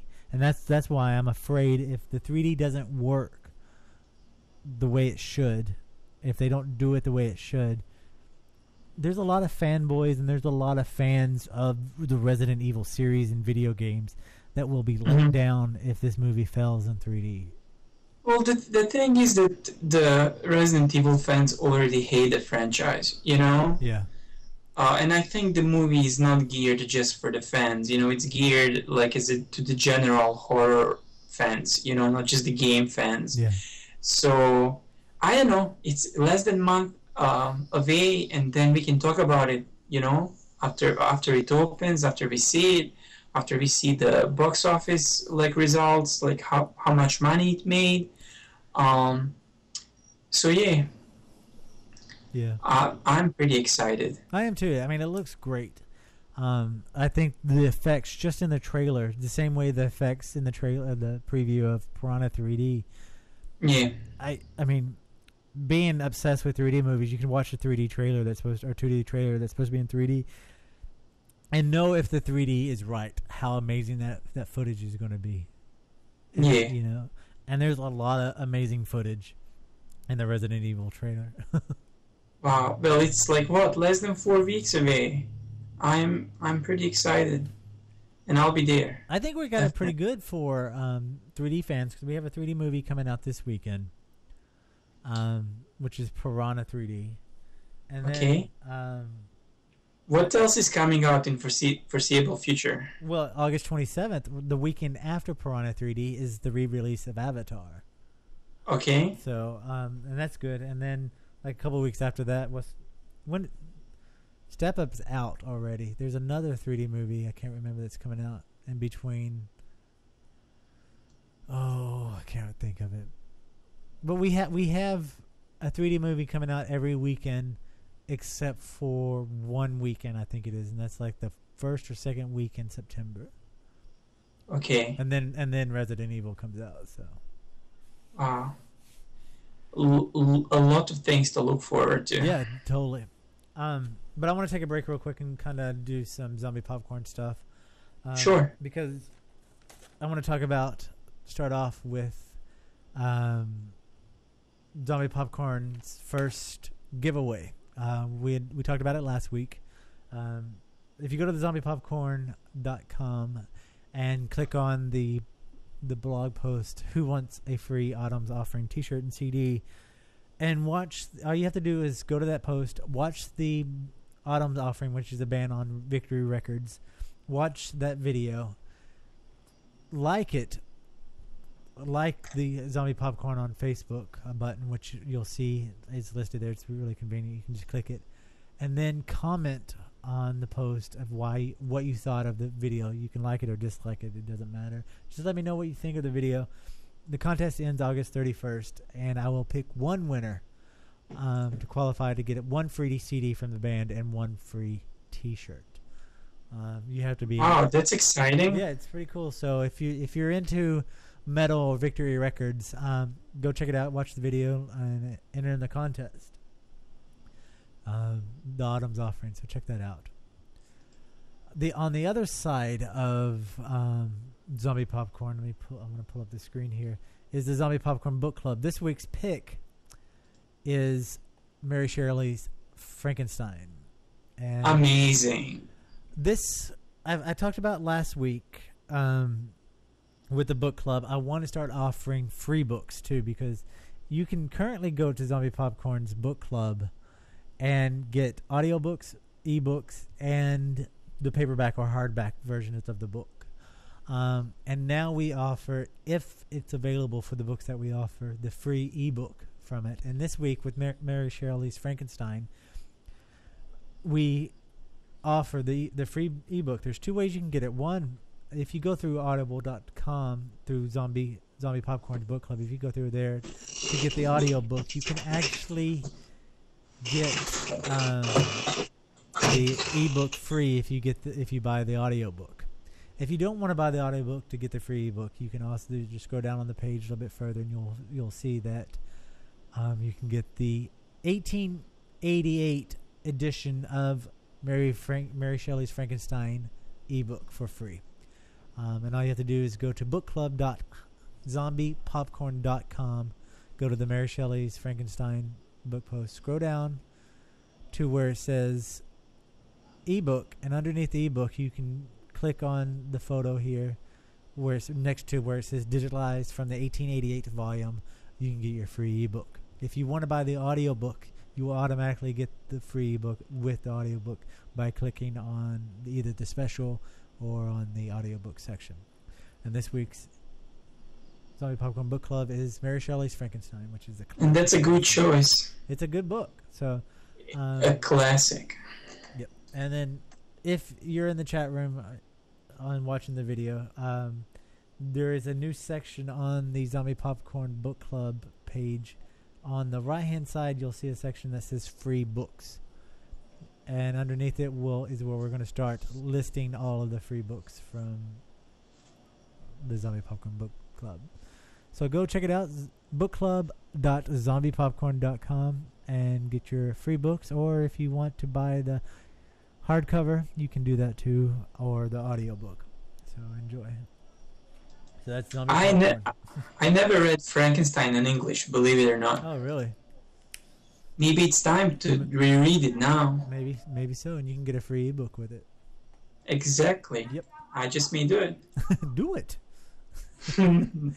um, I want to also go into. I earlier this week there's a local business called Ham and Tea.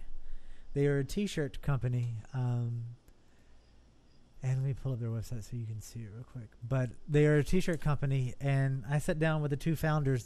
Both um, both founders' name are ha- Hamilton, and that's how they got the name Ham. One member, one of the founders is vegan, and Wow. um, the other is not. But so that's don't worry about the word ham. It comes from their name, not because they like consuming animal products. But their website is hamandtea.com if you want to check it out. And I want to play the pre-recorded interview I did with them um, this week. So we're gonna take a little break and listen to that interview.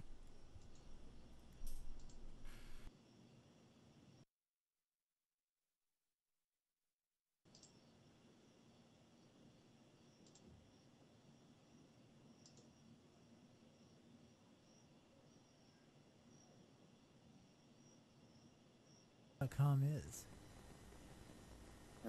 Okay.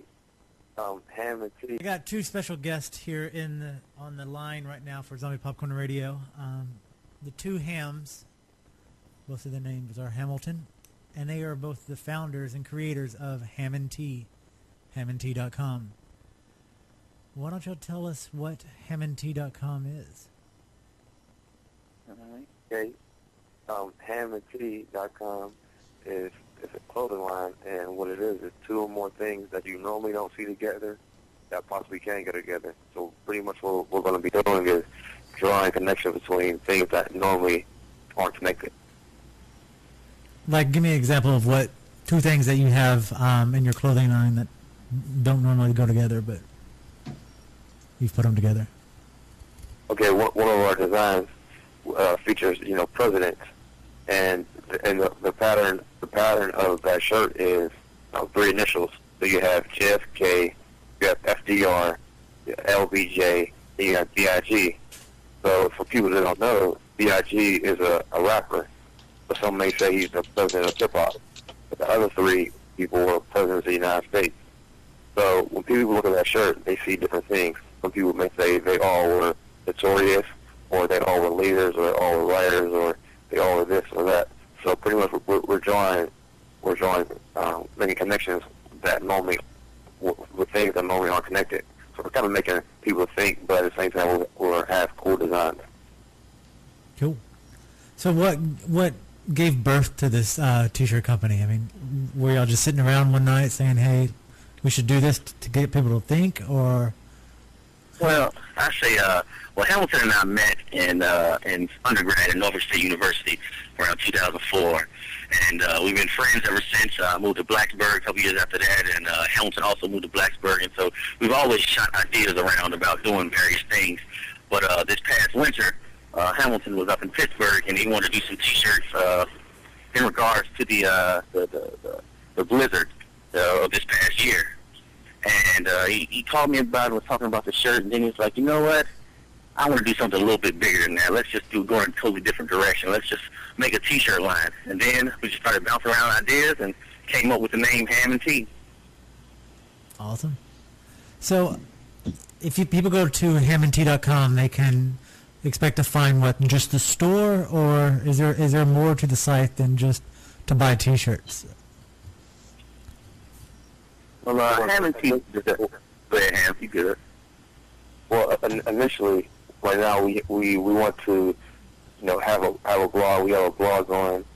We have a store, and we have you know different content. We have we have a video featuring a band, um, Sugar Junkies, and that band is actually from College Park, Maryland. They went to the University of Maryland. So pretty much we want to we want to do is we want to um, have have content on our blog that that features you know things that make people think was kind of cool designs as well. So it, it won't be just just t-shirts. So right now we just we just started a blog. So right now we only have um, about two or three articles. So, like, Ham and Tea is pretty much going to be an extension of the brand. The hamandtea.com is an extension of the T-shirt line. We, we we're based with the fashion and then the shirts and whatnot, but we also want to showcase, you know, our individual side. You know, Hamilton is is a vegan, so he, he wants to put some type of, you know, food content up there. I'm really into sneakers, so I want to put some sneaker content up there. We're into art, we're into photography, so it's just going to be an extension of us, really. Yeah. And that, and that was pretty much the driving driving force of creating the shirts is not really to be, become rich and make money from it, but just to kind of express your ideas and get it out there and get people talking. Yeah. Kind of. Yeah, pretty much. Hmm. That's cool. So tell me how y'all got hooked up with Sugar Junkie because I, I watched the video on the website and that video is pretty damn good. yeah, well, shout out to B Films for putting that together. Um, we have a friend named Brian Summers, and Brian is into photography and, and video and all other forms of media. And uh, he got he actually got into contact with these guys, Sugar Junkie, and had been working with them, you know, just doing some videos of them, just some small videos, uh, just introducing the band to the world. And uh, they had this song called Cross the Sea, and uh, they tapped him to do the video for it. And then he called us because he knew about Ham and Tea and asked if he could put the videos, I mean, put the shirts in the video. And heck yeah, we were down with it. and so that's how we kind of got aligned with uh, Sugar Junkie. Very nice. Nice. Well, we'll play the um, video um, for the listeners, or the song for the listeners um, after this interview so people can hear the song. And you can, if you want to see the video, go to hamandtea.com and it's right there on their front page. And also pick up a t shirt.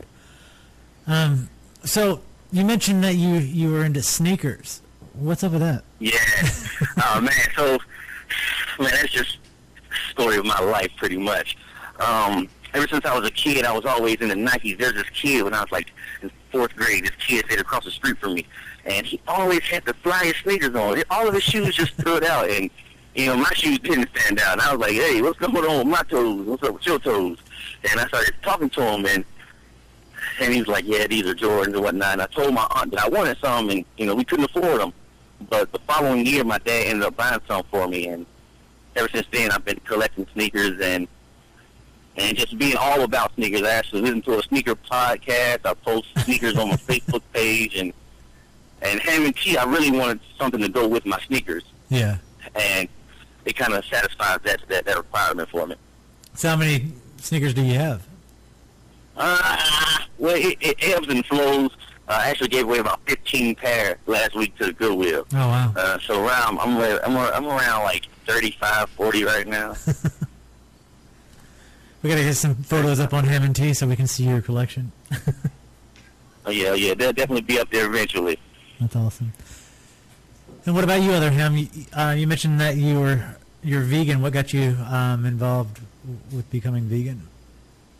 Well, I just always, you know, into health and always eating healthy. So, uh, when you know, doing research over the years, eventually I, I just transitioned my diet. First, I was stopped eating pork and beef. Then I was stopped eating chicken and turkey. Then I was eating just fish, and then uh, then vegetarian, then veganism. So, and, and, and it was kind of kind of ironic, ironic that um, my name is Ham, and I know not I'm vegan. So people always you know crack, crack a joke about that. So I was like, so initially I was like, I really don't want to name this company Ham and Tea because most of them has our name in it, Yeah. and then plus I, you know it says ham, and I don't I don't eat ham. So, but but the name was just too sticky. It was just too catchy, and it, it made perfect sense. So we said hey, we have to, we have to go with it. Well, if anybody lives in the uh, Norfolk, Virginia Beach area, and you um, see him um, on the street, you see him with a a teapot that he carries with him, and it has a sticker on there. It has the Ham and Tea um, logo sticker on there, and it's definitely eye catching. That's kind of what got me talking to um, to him to get him on the show and stuff because I was I was like, what the hell is this? I mean, because I, cause I I didn't know you were vegan, but I knew you didn't eat that much meat just from our environment that we see each other in, and um, so I was really puzzled by it. I was like, wow, how can a vegan, vegetarian, have ham and tea written all over. it. so yeah, Yeah, yeah, the teabag thing is really taking a, a life of its own. We uh, Hamilton approached me with, he's like, yeah, I'm, I'm passing out tea bags. I'm like, what are you doing I'm passing out tea bags? We don't sell tea. He's like, no, they have stickers on. That's what we're going to do. I'm like, oh, man, that's sweet. That's pretty nice. That so nice. pretty, we kind of teabag the town in the sense. put a new definition to the tea party, right? yeah, yeah. Yeah, because I, I brought home one of those tea bags, and my wife is like, "Why are you carrying a bag of tea in your pocket?" Yeah, yeah, yeah. See, we- we're promoting it. Then we're trying to we're trying to quit your thirst, also, also, baby. It's all it, it's all good. That's awesome. With the clothe you and feed you. That's great. So, So, no- go ahead. Yeah, no, no, no, another thing I, I feel I want to mention to the to the listeners, the, the best way to view the site would be in a Firefox or Safari. Uh, for some reason, Internet Explorer does not agree with our site too much. So, Internet if Explorer doesn't agree with full, if you want to get the full experience, go to Firefox or Safari. All right. So yeah, definitely. Just don't, if you if you have Internet Explorer on your computer, just delete it. Get rid of it. It is one of the worst browsers in the world. So just if you're if you're if you're listening to this podcast using Internet Explorer, just pause this, delete your Explorer, download Firefox or Chrome, and then hit play again and go to hamandtea.com. So I see on your site, if you go to the store, um, you have currently four designs up. One that you already talked about, the president's design, and then you have the classic design, which is just your logo of the ham and the teacup. Um, can you explain the uh, the other two, the artist and the turtles and the hair and more hair? Well, Yeah, I'll, mine's a I'll, hair I'll. I'll just explain the I explain the green one. Oh, Okay, the the green shirt is kind of it's kind of symbolic of you know that reminiscent of the Ninja Turtles.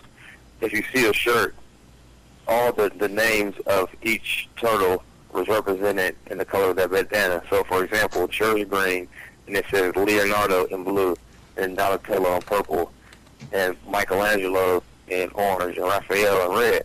But underneath that, it says Picasso in white. So pretty much what it is is is, is to get people to think like, hold up, was there a fifth turtle? And if there was a fifth turtle, maybe it could have been Picasso.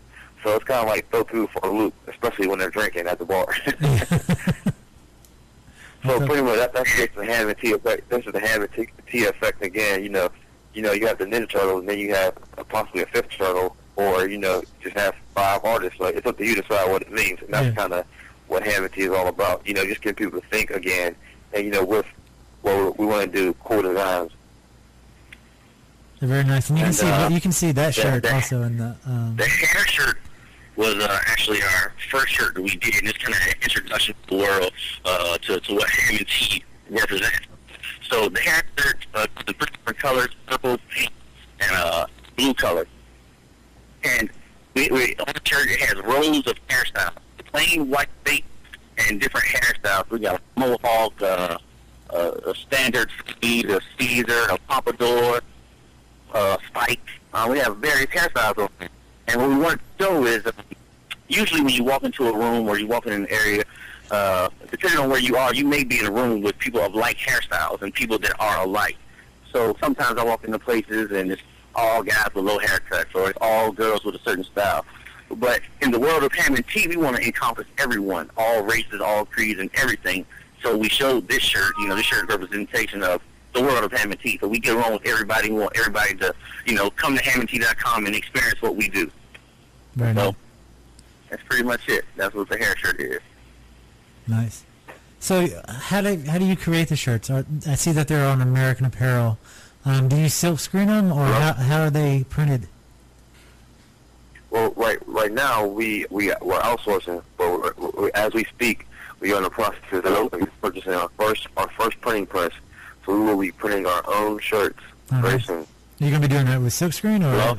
Hello? Yes, yes, it'll, it'll be silk screen. Nice. So what are the future T-shirts? Can you come and give us a hint of what future thoughts and designs coming from him and T? Hello? Hello?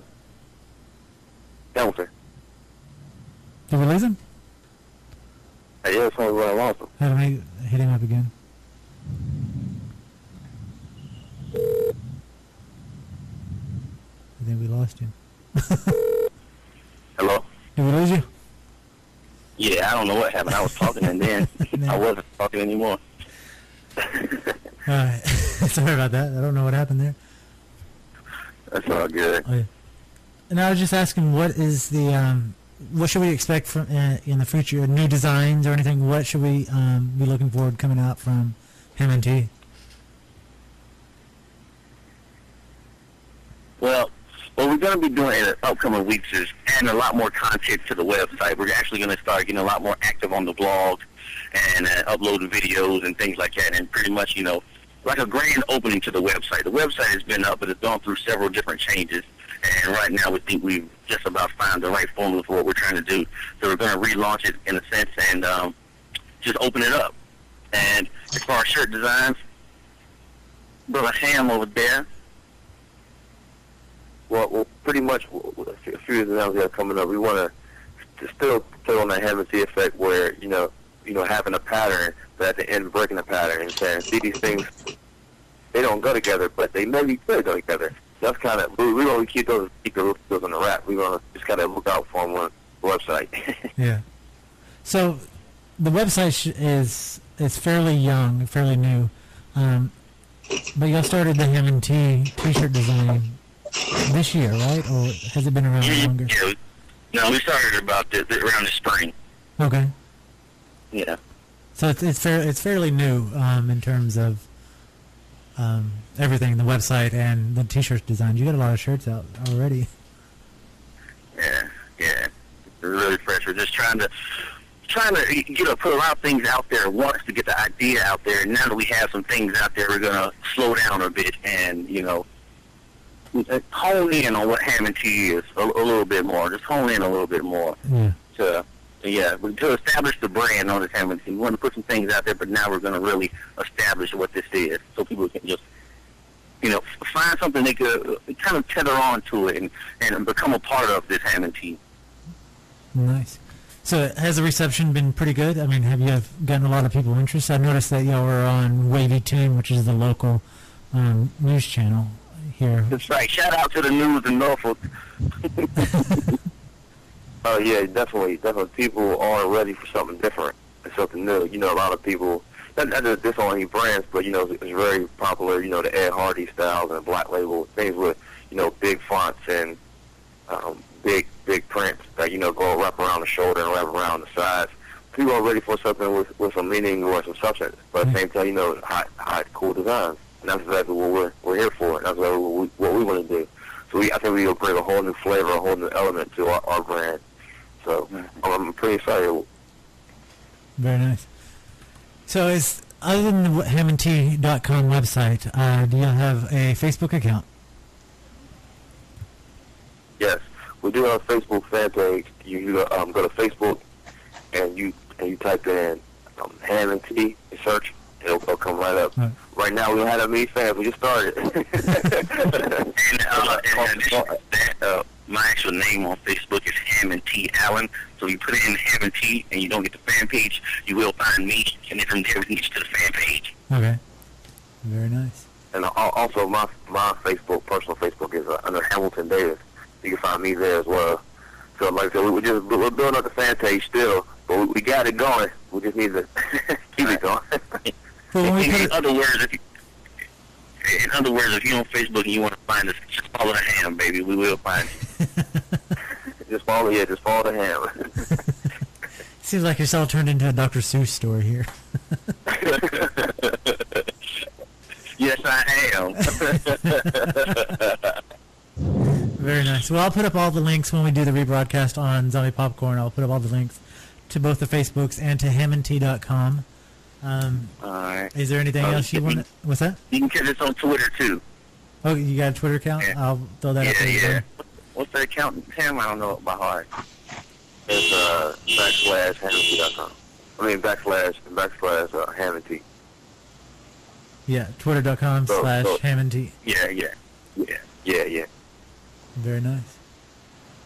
Well, I want to thank you very much for taking the time to talk to us. Is there anything else you want to add, throw out there, give shout out to, or talk about? Mm. You have something to say, Ham? I don't have too much to say. uh, just go to the website hamandtea.com. Uh, check us out. Uh, if you see us downtown Norfolk or anywhere, uh, if you want to talk to us, if you just you know just like the brand, or if you got ideas yourself, you just want to talk, we're, we're down for that also. So uh, that's about it. Yeah, definitely. Well, I want to thank you guys for taking the time talking to us. I really like the idea you got going on at hamandtea.com. I recommend everyone, especially all the locals, support the locals and go to hamandtea.com and support the two hams here. hamandtea.com. Thanks for having us. Yeah, thank you. Thank you. That was it. hamandtea.com. Everybody should go check it out. So, um, where's Hasan? Am I not hearing Hasan? Oh yeah, Hasan. Talk to me, Hasan. Can you hear me? Gotcha. Yeah, um, I was saying uh, it's a good interview. I want a Ninja Turtle T-shirt. You want a Ninja Turtle? Well, you know where to get it. That's awesome. So, I'll, the video that they were talking about in the interview, I will play going out um, for the last thing, going out, so they can you can see their video with their their T-shirts in it. Um, because I, I want to make sure we get in all of our topics before because we're starting we're getting close to. Oh, look at that! I lost Hasan again. but we're getting close to the end. Um, so yeah. Anyway, Hasan, we lost you. But there's there's a couple things I want to I want to throw in here to talk about real quick before we get to um, the end of the show, because I saw the most amazing zombie thing the other day.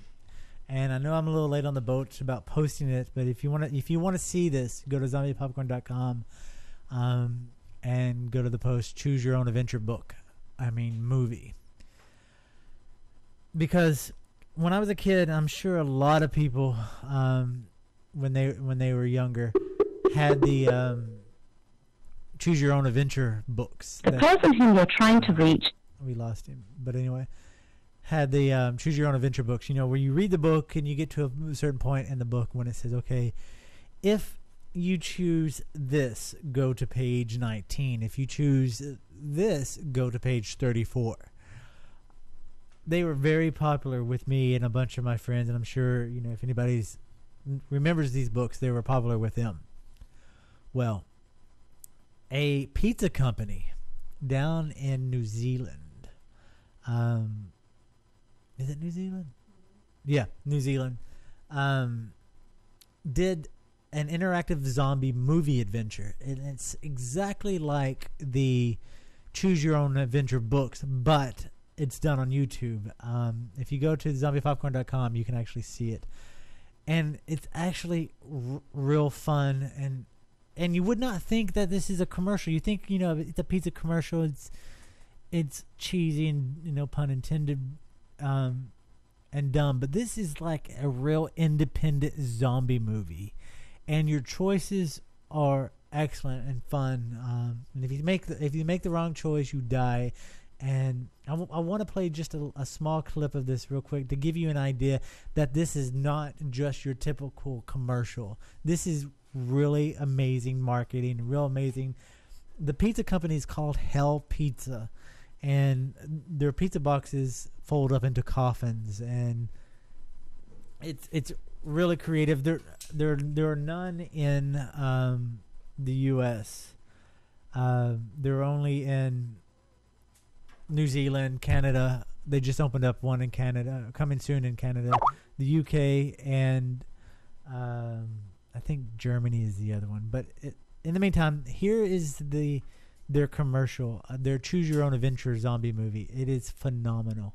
Get Hasan on this before we get on. Hey, Hasan. Or not? We just lost. But anyway, here's here's the movie.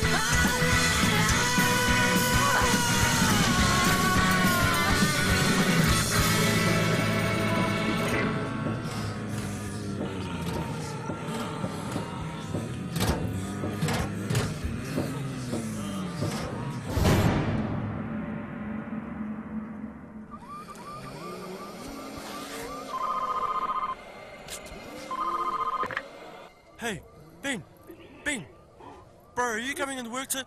Ben, bro, what's wrong with your voice? Did you just wake up? Are you coming up? Oh.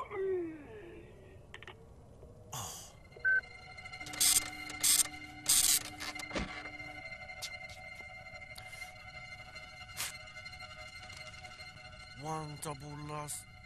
Oh, stink! It's delivery!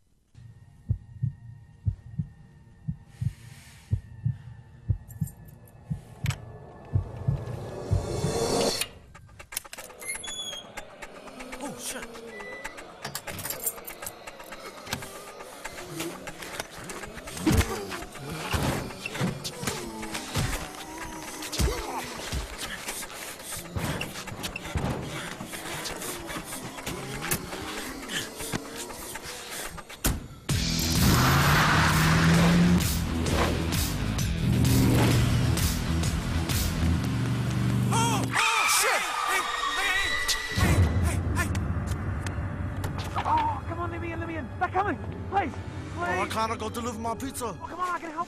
You've been bitten. It's not blood, it's not blood. It's, it's, it's, I can help. You should deliver the paper. Come on, come on, come on, please. So this is where you choose your own adventure. Do you let him in, decision. or do you leave him behind? And this continues throughout the whole oh, movie. It's so long, You're running out of time. and it's it is awesome. You can actually pick. Let's leave him behind. Make up your mind. but anyway, that's where we're gonna stop it, because I want if you if you want to do the if you want to do it, you sh- you should actually go and make your choice. That looks amazing. It is it's and and it's a commercial. That's what makes Wow. it, makes it awesome. Is that it's it's well, it's not really a commercial. It's, just, it's an adver- it's an ad- advertisement, and they're having a contest where you can get a year supply or a lifetime supply of pizza um, by doing this adventure movie and everything. But it's it's it is it is totally awesome. I love how they t- a pizza company really embraces their I guess you know the the horror industry and, and the zombie fans, and I mean their their pizza company is called Hell Pizza. So, Wow, but that's really smart. It's really smart marketing. but you would never see that here in the U.S. That's the sad part. You would never see a company do this in the U.S. Well, you know, they have to sell pizza, and like people here are very like, it's very formulated. Nobody's taking a chance, you know. Yeah, Very cool. it is sad, but um, I I just wish some companies here would kind of just step step up to their game and um, give us something fun. Give us something like Hell Pizza. No, Jason. uh, The only thing you're gonna get is Geico and Progressive commercials over and over again. That's what we're all about here. And Swiffer, don't forget Swiffer. oh yeah, Swiffer. Woo. Wow, that was pretty cool. As soon as the show's done, I'm gonna go and I'm gonna choose my own adventure. You should, cause it's it's it's fun. Miley did it with me, or she, I did it before when I first found out about it, and then she did it, and she made it all the way through without dying. Really? Yeah. Wow. But I was always trying to, you know. Anyway, I don't want to give anything away. Everybody should go to zombiepopcorn.com and choose your own adventure. It, Yes, You I'm definitely checking it out. Huh? Oh yeah, I told him about the coffin. It's like the the pizza box. You'll see you'll see a photo of it on Zombie Popcorn. But you, you have your regular pizza box, and then when you when you have leftovers and when you're done, you can fold the box on up, and it becomes a coffin. That's amazing. It's and if you go to their website, which is their website's linked from zombiepopcorn.com, um, you can check out their menus and stuff, and they have really creative names, and it's, it's just a Where is, really. where is really this from? Is this in UK? This is in New Zealand, but there is Oh, one New Zealand. That's where their headquarters is. There is one in the UK, um, one coming to Canada, um, and I think the other ones were Germany. I can't, but I can't remember exactly. But they're not in the US. I know that. Hey, maybe will make RV, you know, over here oh yeah, too. and they have vegan options too. So Wow, that's awesome. Yeah. so Wow, good stuff. I can't wait to check it out, the whole thing. it is pretty awesome. But it is now nine o'clock. Um, so I think we may be wrapping up Zombie Popcorn. That was a good show. Uh, I'm sorry for the technical troubles. Oh no, it happens. We always have technical troubles. Uh, thanks for having me. Well, thanks for coming on. You know, you're welcome anytime to come on the show. Thank you. Uh, I always have so much fun. Yeah, it's a, it's always fun having you on. Yeah. And thank you, Jen, and thank you, 3D Movie Man, in the chat room for hanging out with us. Um, Thanks, guys. Well, I'm gonna end the show with the Sugar Junkie video, which um, was talked about in the Ham and Tea interview. So, everybody have a great night. Uh, thank you for listening to Zombie Popcorn Radio. Thank you, Hasan. Thank you, 3D Movie Man, and thank you, Jen. Thanks, guys. Have a great night.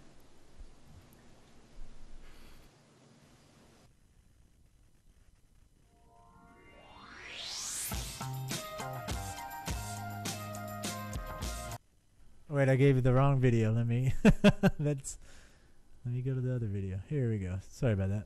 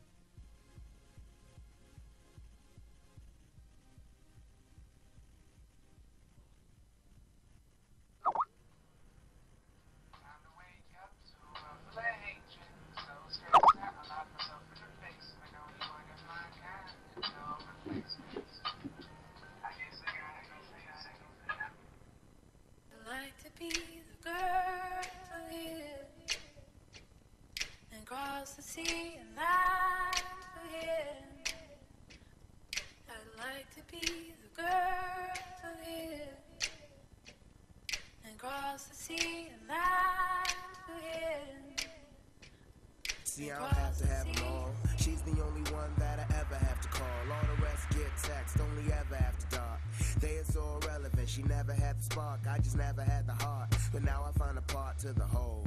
Now I find a start to the goal. Now I'm not walking alone. Now I got stocks and cologne, so I can freshen all of her clothes when I'm out on them.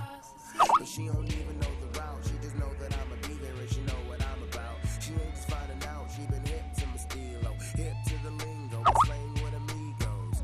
And that's why I keep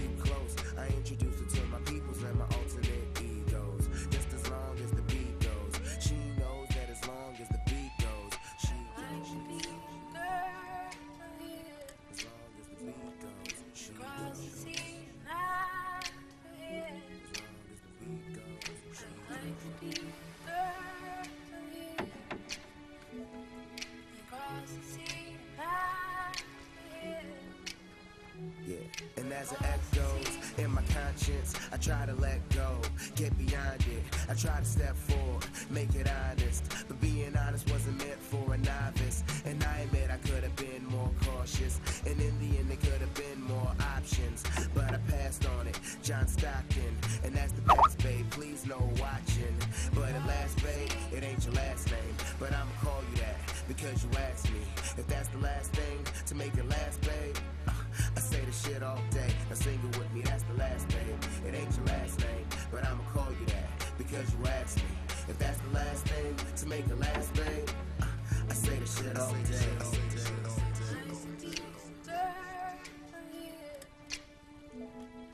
Across the sea, land